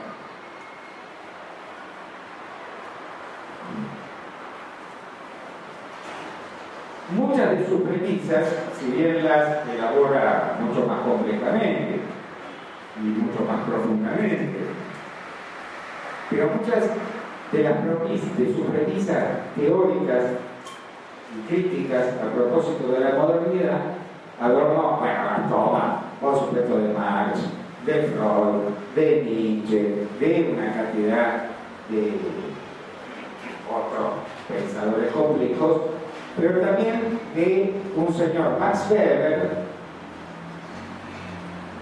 sociólogo, historiador, economista alemán importante, muerto ya en 1920, que tiene una teoría que Adorno va a reinterpretar, readaptar, a propósito de las características de la razón o de la racionalidad en la modernidad. No voy a hacer de nuevo el chiste, pero merecería de que hay gente que se pasa toda la vida estudiando este problema de ver, es muy complicado y no lo voy a explicar. A lo mejor son siete no conocí. Ahí calculo. Y el asunto es así. Pero dice, hay dos clases de racionalidad que están en pugna están en permanente conflicto. La primera es lo que él llama la racionalidad formal y que Adorno y Horkheimer van a llamar racionalidad instrumental. Y la segunda, Weber la va a llamar racionalidad sustancial, bueno, forma y sustancia de la vieja oposición Racionalidad sustancial y Adorno la va a llamar racionalidad material. ¿Qué es la racionalidad formal en hegeliano y instrumental en adornés?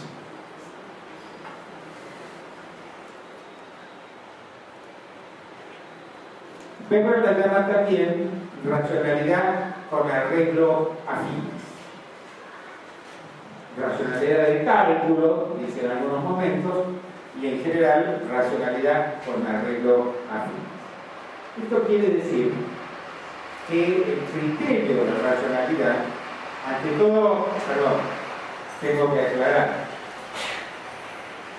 cuando hablamos en estos autores de racionalidad, nos referimos a, la racionalidad de las acciones sociales. Se trata de sociólogos, Estamos hablando no de una racionalidad franca, sino de las acciones sociales o individuales, todos los individuos obviamente están en sociedad. Entonces, racionalidad con las reglas fines quiere decir que el criterio para juzgar la racionalidad de la acción es la de la adecuación de los medios a los fines. Será racional toda acción que habiéndose dado un objetivo, un fin, utilice, encuentre los medios más eficaces, más pertinentes, más económicos, más eficientes para lograr la satisfacción del fin propuesto.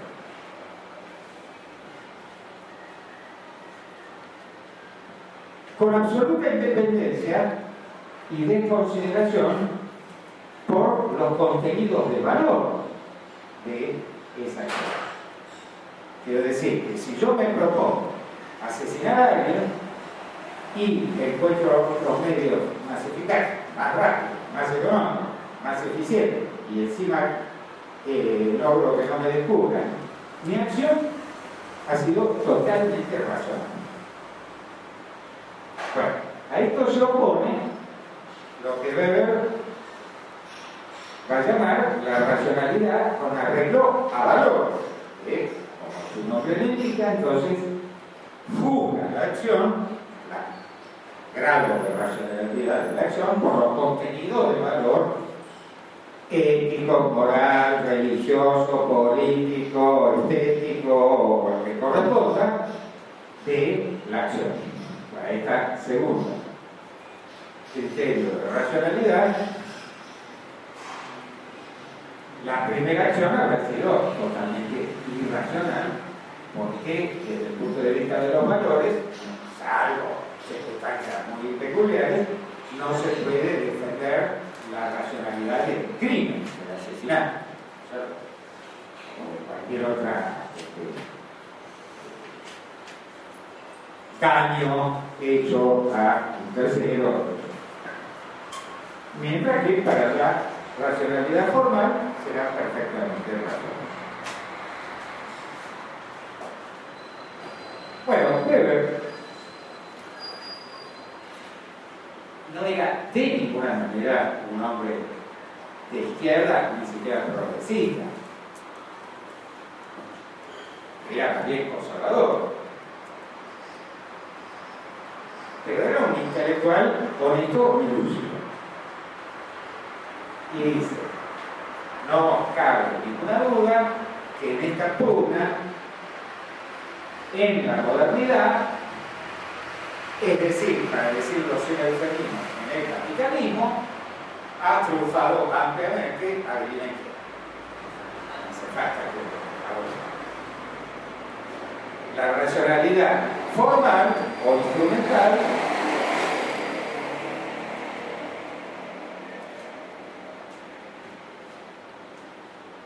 ha terminado por dominar si es que no lisa eliminar, a la racionalidad de los valores, a la racionalidad sustancial o material. Aquí hay toda una serie de cuestiones.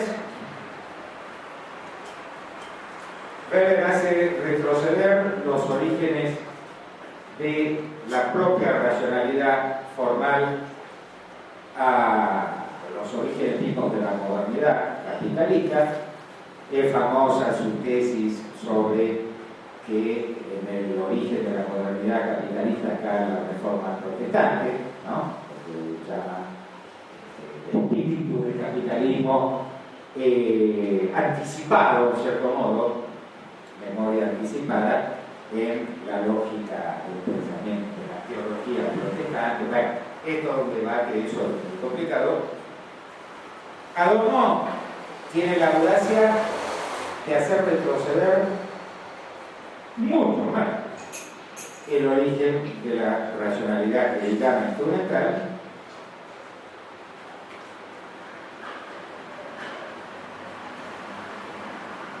y lo hace retroceder al origen mismo de la sociedad occidental.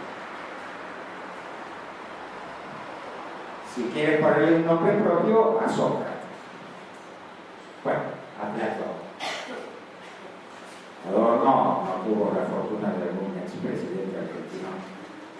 Ya la sobra completa de Sócrates. Se tuvo que ir a reinar con Platón, digamos. Entonces va a pasar a mí, es el día.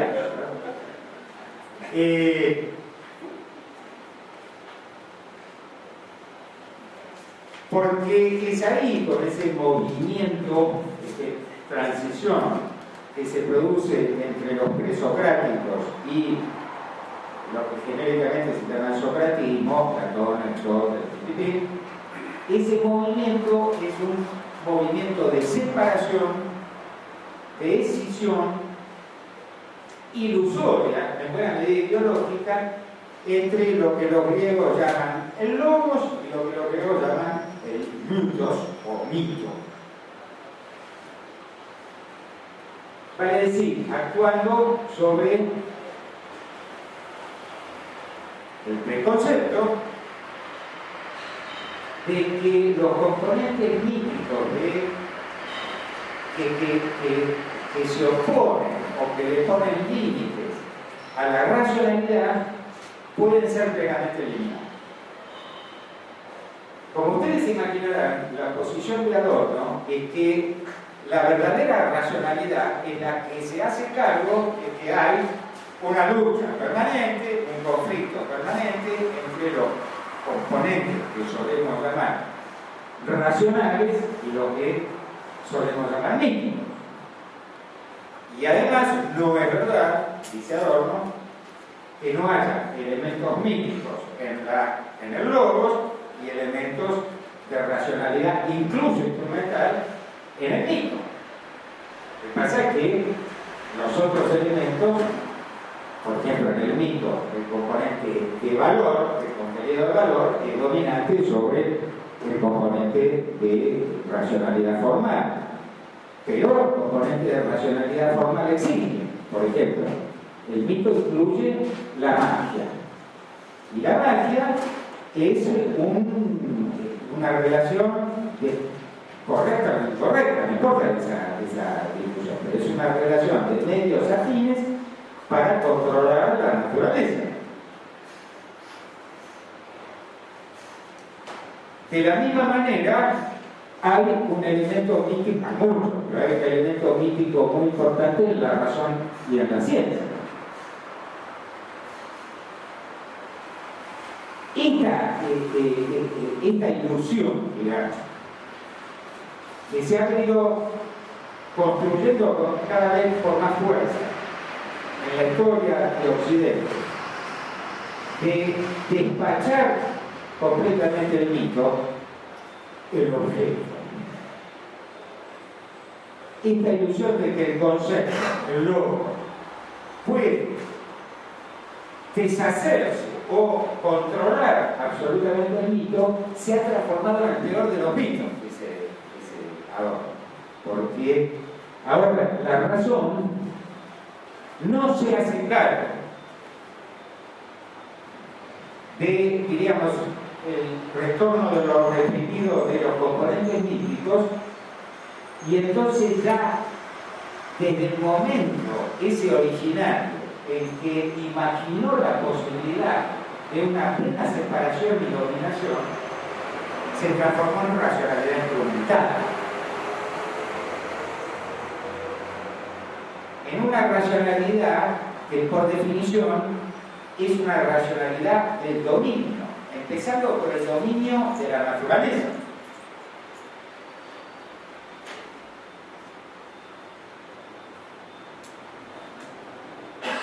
Y el dominio de la naturaleza, indefectiblemente, como por un tobogán, conduce al dominio de los hombres.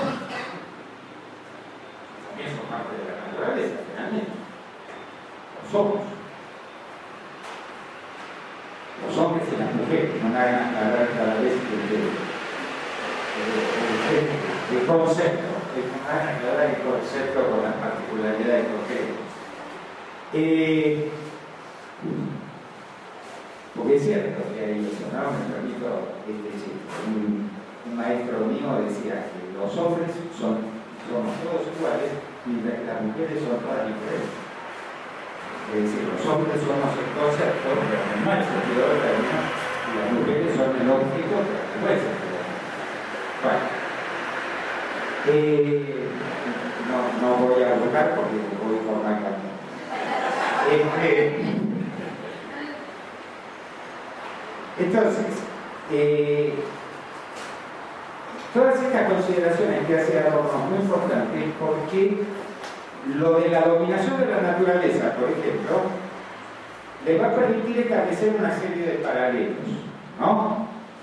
Como si dijéramos una cadena de equivalencias donde el, el significante naturaleza va a valer también por el significante mito y por finalmente el significante arte autónomo.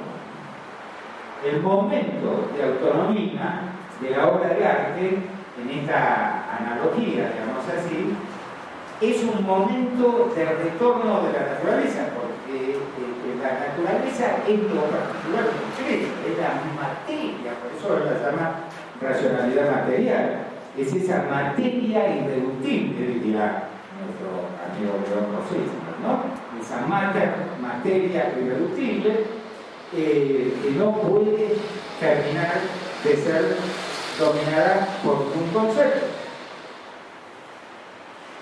Como a pesar de todo el concepto quiere dominarla, miren lo que está pasando. Hay algunos más pesimistas que yo que calculan 100 años Sí, no hay una transformación radical, ¿no es cierto?, de, la relación con la naturaleza. Bueno, en definitiva, entonces lo que sucede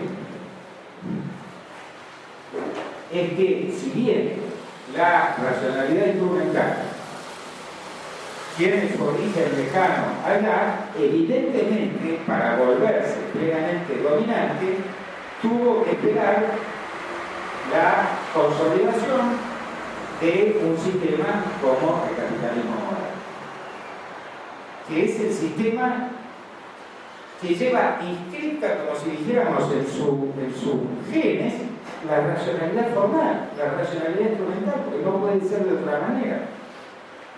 No puede ser de otra manera, y por eso Weber, que estaba totalmente a favor del capitalismo, pero que no dejaba de ver estas cosas, la llamaba también la racionalidad del cálculo.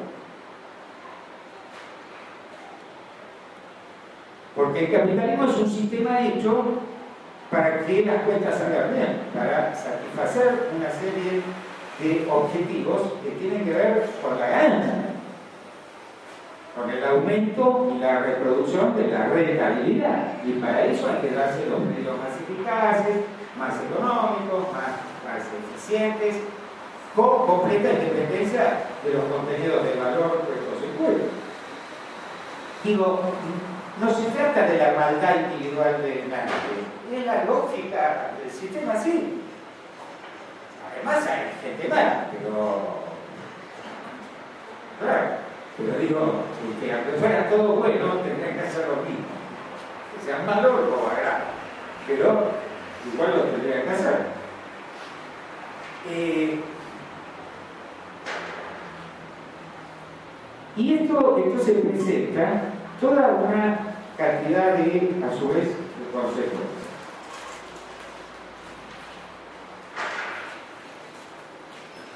Ya Weber, ejemplificando lo que llamaba la racionalidad formal en, este, en estos términos, en este contexto, decía, bueno,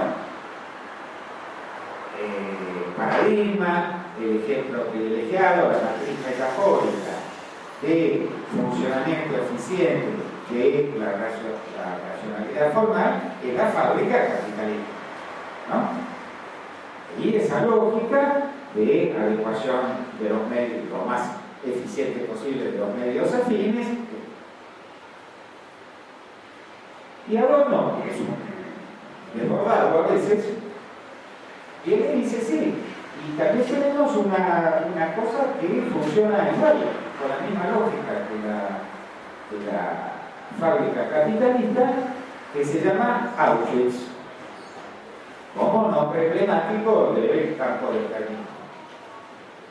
Que ahora vamos a ver qué pretende mostrar Ecuador, ¿no? Pero definitivamente, digamos, por supuesto, la diferencia es radical. En un caso se trata de producir objetos, en el otro caso se trata de eliminar sujetos. Ahora, la lógica con la que funciona es la misma. Se necesita muchísima eficiencia, una planificación muy racional para matar 10 millones de personas en tan pocos años en los campos de exterminio de la masa. Hagan la cuenta, se mataron 10 millones de personas, 6 millones de judíos, 2 eh, millones de comunistas, 1 millón de gitanos, 10 millones de personas en, desde 1941 hasta el 45 Hagan la cuenta, hagan la cuenta cuántas personas por día significa eso. Y no se trata solamente de matarlas, hay que deshacerse de los cadáveres, hay que cortar las huellas, hay que hacer eso es una maquinaria de administración burocrática eh, infernal que tiene que estar muy bien aceitada y funcionar casi con una lógica propia que funciona sola, como funcionan muchas veces las fábricas capitalistas más planificadas, ¿no es cierto? Toda una rutina, una organización minuto a minuto, todo eso, ¿no es cierto? Que eh, fue entre otras cosas lo que a una famosa autora hablar de la banalidad del mal. No hay nada espectacular ni de misterioso en todo eso, definitivamente. Otra cosa es la psicología de los personajes, no me meto pero el punto de vista del funcionamiento no, no tiene nada de misterioso y sí de una altísima eficiencia en términos de la racionalidad y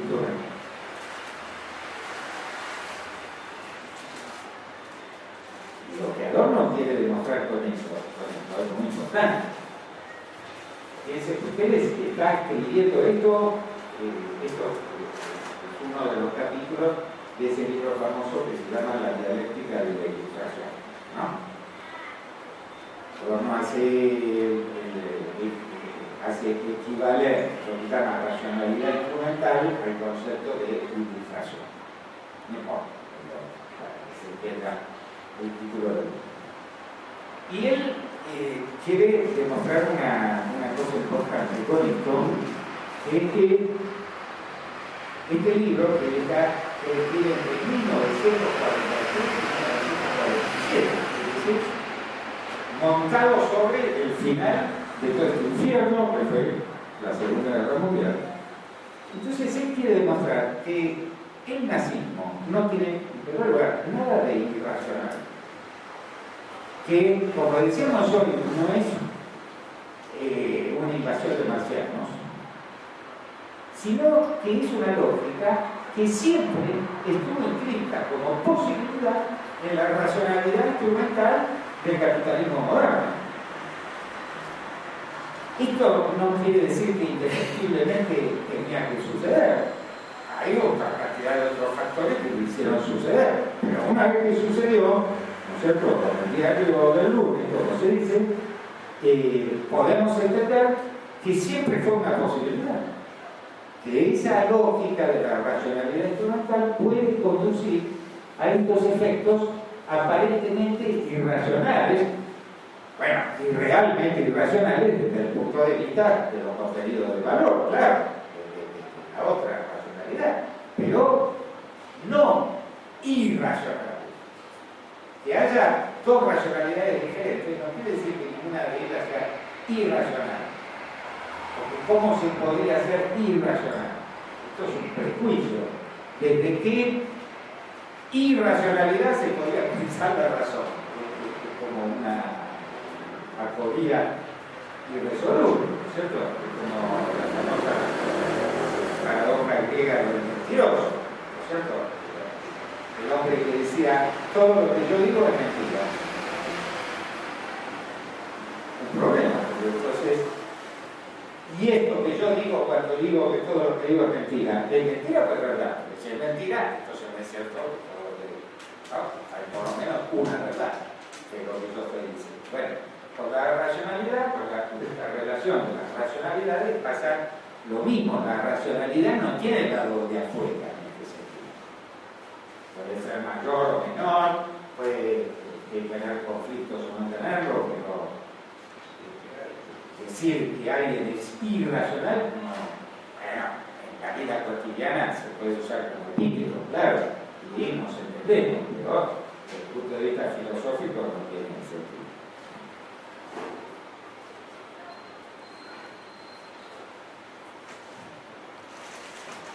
Entonces, la conclusión de la clase de hoy va a ser en realidad un adelanto de lo que vamos a tener que discutir más.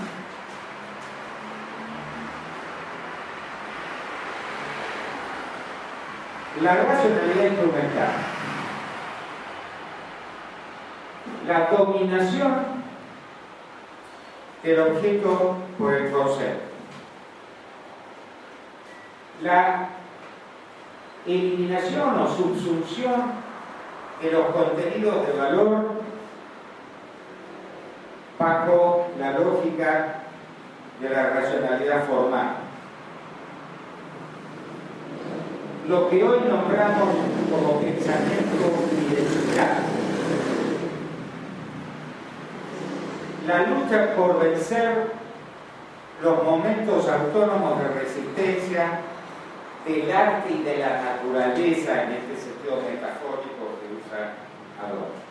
Todo eso es la industria cultural. Es importante, es la industria cultural como lo entiende Adorno, es importante tomarlo en cuenta para que, porque hay un problema, que es la palabra industria, ¿no? Uno escucha la palabra industria y entonces limita mucho la perspectiva y piensa en un fenómeno puramente económico, tecnológico, llamémoslo así, ¿no? que tendrá sus consecuencias sociales, culturales, pero que en su origen está reducido.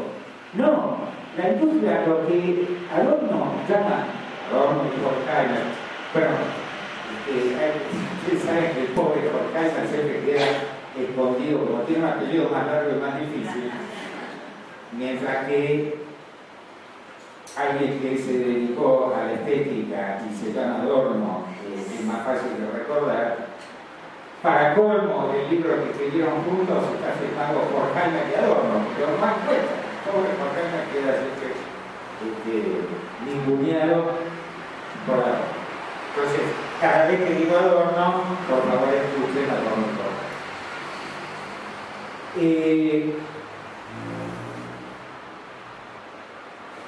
Esto que Adorno llama la industria cultural tiene un alcance enorme, tiene un alcance, por supuesto que también está lo otro, tiene un alcance económico, sociológico, tecnológico, eh, también ideológico, también filosófico, también casi me animaría a decir ontológico y metafísico. La industria cultural es el mundo es el mundo de es, es, eh, una manera de pensar y de estar en el mundo.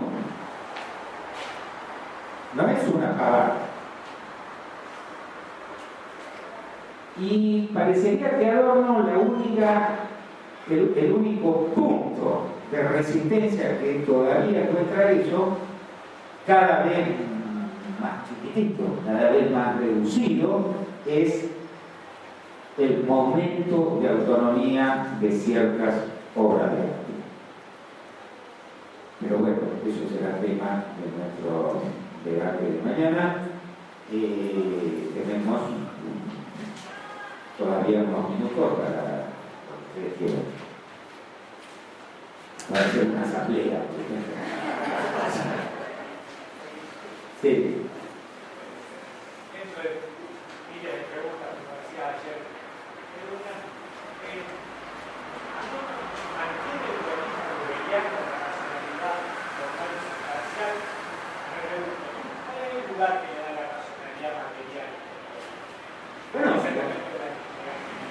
Claro, exactamente. Ese es está, por ejemplo, un ejemplo cualquiera, objetivamente contenido, representado en el momento autónomo de, del arte. Claro, eso, eso es racionalidad eh, sustancial o material y pero también es racionalidad el, pensar la realidad en su conjunto desde esta posición, de esta perspectiva del conflicto no reconciliado. La realidad actual. Eso es, esa es la manera de eh, poner en evidencia eh, como él la llamaría, la falsa totalidad del concepto.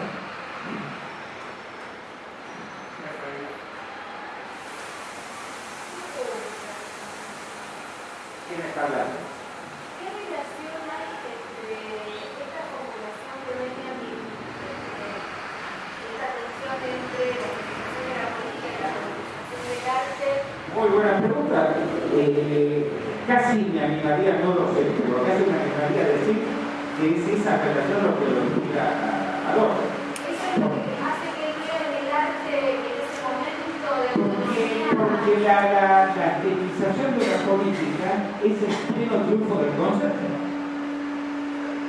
¿Sí? ¿Se, se, entiende? Cuando, cuando este, también dice, elimina, ¿no es cierto?, este, la, la experiencia histórica de los sujetos, está hablando de la eliminación de esa singularidad irreductible que es para cada sujeto su experiencia y que está, queda disuelta en la generalidad de un concepto de belleza, de espectáculo, todo, esto está además, lejos de otras cosas, muy cercanamente implicado en, no tuvimos tiempo de discutirlo acá, en el primer capítulo del Capital de Marx. Y en particular en ese, esa sección, ese primer capítulo, donde Marx analiza críticamente lo que llama el fetichismo de la mercancía. Es algo muy complejo, pero otra vez, pobre Marx, pobre Hegel, pobre todos los que pasan por ahí.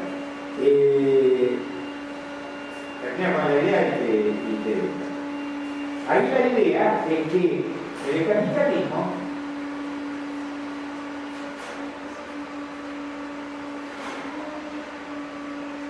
todo lo que se produce se produce desde el vamos con el objetivo de que sea una mercancía intercambiable en un mercado. Es decir, para vender, vivir, obtener una ganancia y todo eso. Eso condiciona toda la lógica de la producción, porque no se puede producir cualquier cosa en cualquier momento de cualquier manera. La lógica, como bien dice Marx, Marx consideraba que el capitalismo era un progreso respecto de otras situaciones anteriores, pero tampoco se le escapaba de las diferencias y lo dice con una frase famosa. Dice, en las sociedades no capitalistas precapitalistas, como se diga, la finalidad es la reproducción del hombre. Y la producción de producto, la producción económica, es un medio. En el capitalismo, la finalidad es la producción y el hombre. Esa, esa es la diferencia. ¿cierto? Entonces, toda la lógica, por eso también tiene necesariamente que ser instrumental la finalidad es esa. Entonces, dentro de esa lógica, precisamente está el hecho de que como se producen infinidades este, complejísimas de mercancías, no se puede actuar por tu en el gran mercado internacional, ¿no es cierto? Entonces, ¿qué se, ¿qué se hizo? Se inventó una cosa, por supuesto, muy anterior al capitalismo, porque el capitalismo adquiere una función nueva que se llama dinero. ¿El dinero qué es? Créanme lo que digo. El dinero no es nada. Es una completa ficción. el es el por el que nos matamos, trabajamos 14 horas por día, o otros asesinan, roban, y hacen toda clase de servicios, guerras, como la Segunda Guerra Mundial, se mata el 50 millones de personas, también por razones de dinero. Bueno, todo eso no es nada, es una mera ficción que se inventó para tener lo que ya los economistas clásicos y también Marx llama un equivalente general al cual, se puedan reducir todos los objetos singulares que son la mercancía. ¿Se dan cuenta que volvemos sobre lo mismo? Podríamos decir, el dinero es el concepto y las mercancías son el objeto. Y los objetos, para la contabilidad general del sistema, son todos iguales, son todos equivalentes. No importa si yo vendo un tosco tornillo o la novena sinfonía de Beethoven. Las dos son mercancías. En esa lógica formal, precisamente, del sistema, el contenido de valor no tiene importancia. Sí, el precio tiene importancia, que es una forma de traducir, bueno, es una forma, el precio, de, eh, de entrar en algún casillero que es el concepto que es el equivalente general dinero. Bueno, entonces, todo esto, una vez más, es la lógica objetiva del funcionamiento del sistema. No es que algún maldito se sentó con otro en un pasillo oscuro a cooperar eh, eh, poco por robar a la gente. No, funciona así. Funciona así, lo pegamos no. Perdón, eh, vos querías preguntar.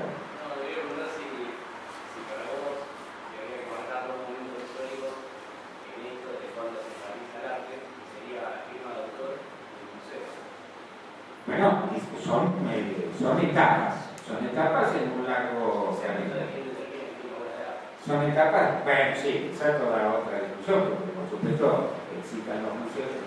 A ver, el, museo es una institución de poder, inevitablemente. A lo mejor está bien, tampoco es cuestión de hacer del poder en abstracto un mal absoluto, depende de para qué se lo use, quién lo use, con qué objetivos si es con racionalidad instrumental o material. Claro, todo eso se puede discutir. Pero no cabe duda que alguien toma una decisión que, determina qué es arte y qué no es arte en el sentido de qué merece entrar al museo y qué se queda fuera. Y entonces eh, tenemos el problema de, cómo sale uno de esa. Bueno, en esta lógica sería museo sería el mercado. El museo es una parte del mercado, por supuesto, claro. Es la máxima instancia de legitimidad. Sí, de la máxima instancia de legitimidad que, todavía funciona con la ilusión de que está sustraído al mercado, porque ahí las obras no, no, puedo comprar eh, los girasoles de banco, no solo porque no lo podría pagar, sino porque no está fecha, porque es patrimonio nacional de la humanidad. Y entonces parece que no fuera en la ilusión del arte por el arte. Parece que eso no tuviera ninguna utilidad ni estuviera en el régimen de la así Está retirado de toda contaminación. Bueno, es falso, claro que es falso. Pero, eh, pero también tiene que ver con una porque una de las cosas más difíciles que hay, yo diría que es absolutamente imposible, es saber realmente por qué algo, un objeto que anda por el mundo, merece ser llamado obra de arte. La, gente, mucha gente no sabe por qué están adentro de un museo. uno dice, debe ser arte, ¿no es cierto? Si se lo escucha en una sala de concierto, debe ser música, no sé. Eh, pero no es que haya una, cosa tamaña evidencia, ¿no es cierto? Y aún así, aún así, ¿cuántas veces en los museos, sobre todo fue el arte contemporáneo, ¿no es cierto? Hemos escuchado a gente decir, eso no es arte. Es el problema inverso, porque, porque eso es el prejuicio que también proviene de, de todo este largo proceso de creer, como decíamos hoy, de que arte es siete hecho. Pero hoy discutimos, no que ver la. O aún cuando manejemos otros parámetros más sutiles, de que lo que es malo no es arte. ¿No? La gente dice, eso malo para mí no es arte. ¿Qué me importa?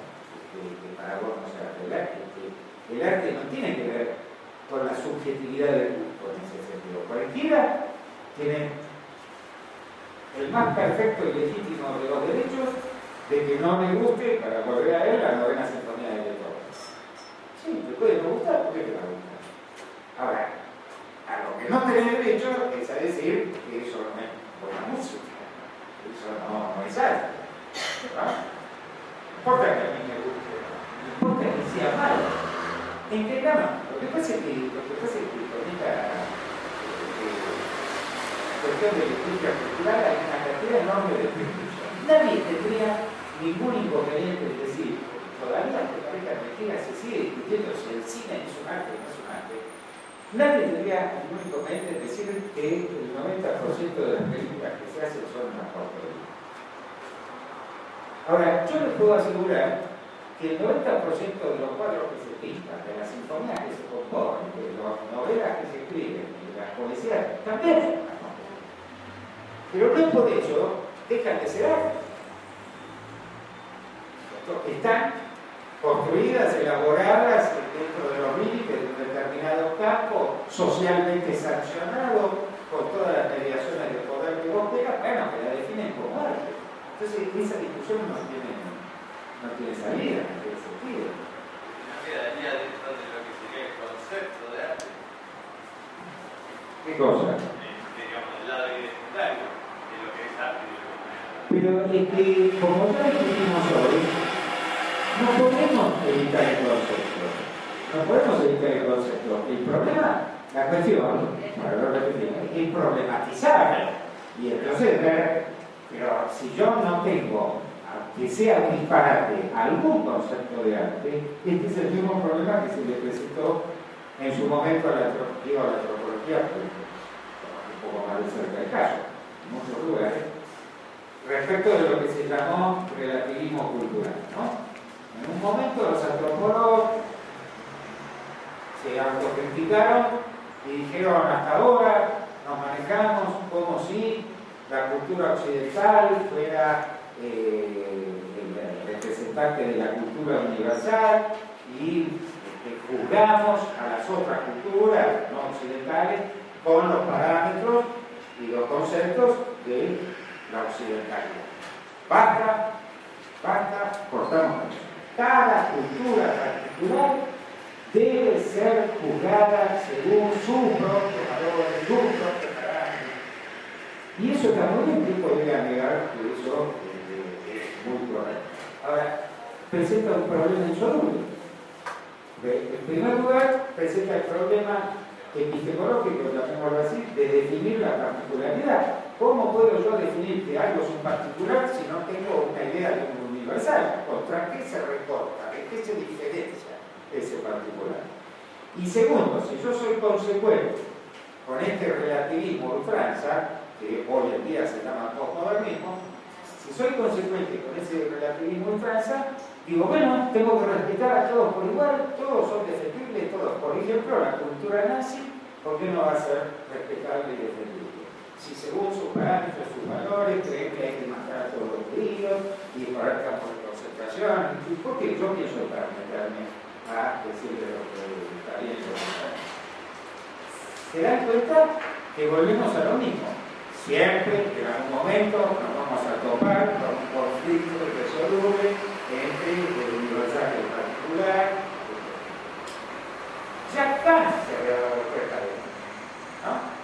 Cuando, cuando Kant, cuando Kant, me voy a pasar un minuto y tres pasos. Cuando Kant, entre muchas otras cosas, eh, que habla de las antinomias de la razón, todo eso, y entonces da un ejemplo. Eh, Dice, bueno, hay toda una serie de imperativos categóricos, éticos, como lo llamaba él, absolutamente universales y que de ninguna manera se pueden eh, no respetar o transgredir o desobedecer. Un imperativo categórico de esta naturaleza, por ejemplo, sería no mentir nunca en ninguna circunstancia. Ahora bien, estoy en mi casa tranquilamente, suenan golpes desesperados en la puerta y es un amigo de amigo personal, íntimo, que me está pidiendo refugio porque lo persiguieron unos asesinos. ¿Ok? Entonces yo respondo. Y es nuestra puerta porque ya no los asesinos. El fulano está acá. Dígame.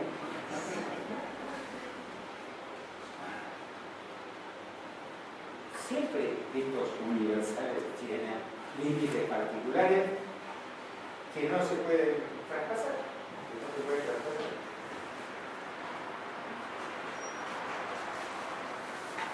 Bueno, no sé qué harán ustedes, yo me voy a prestar.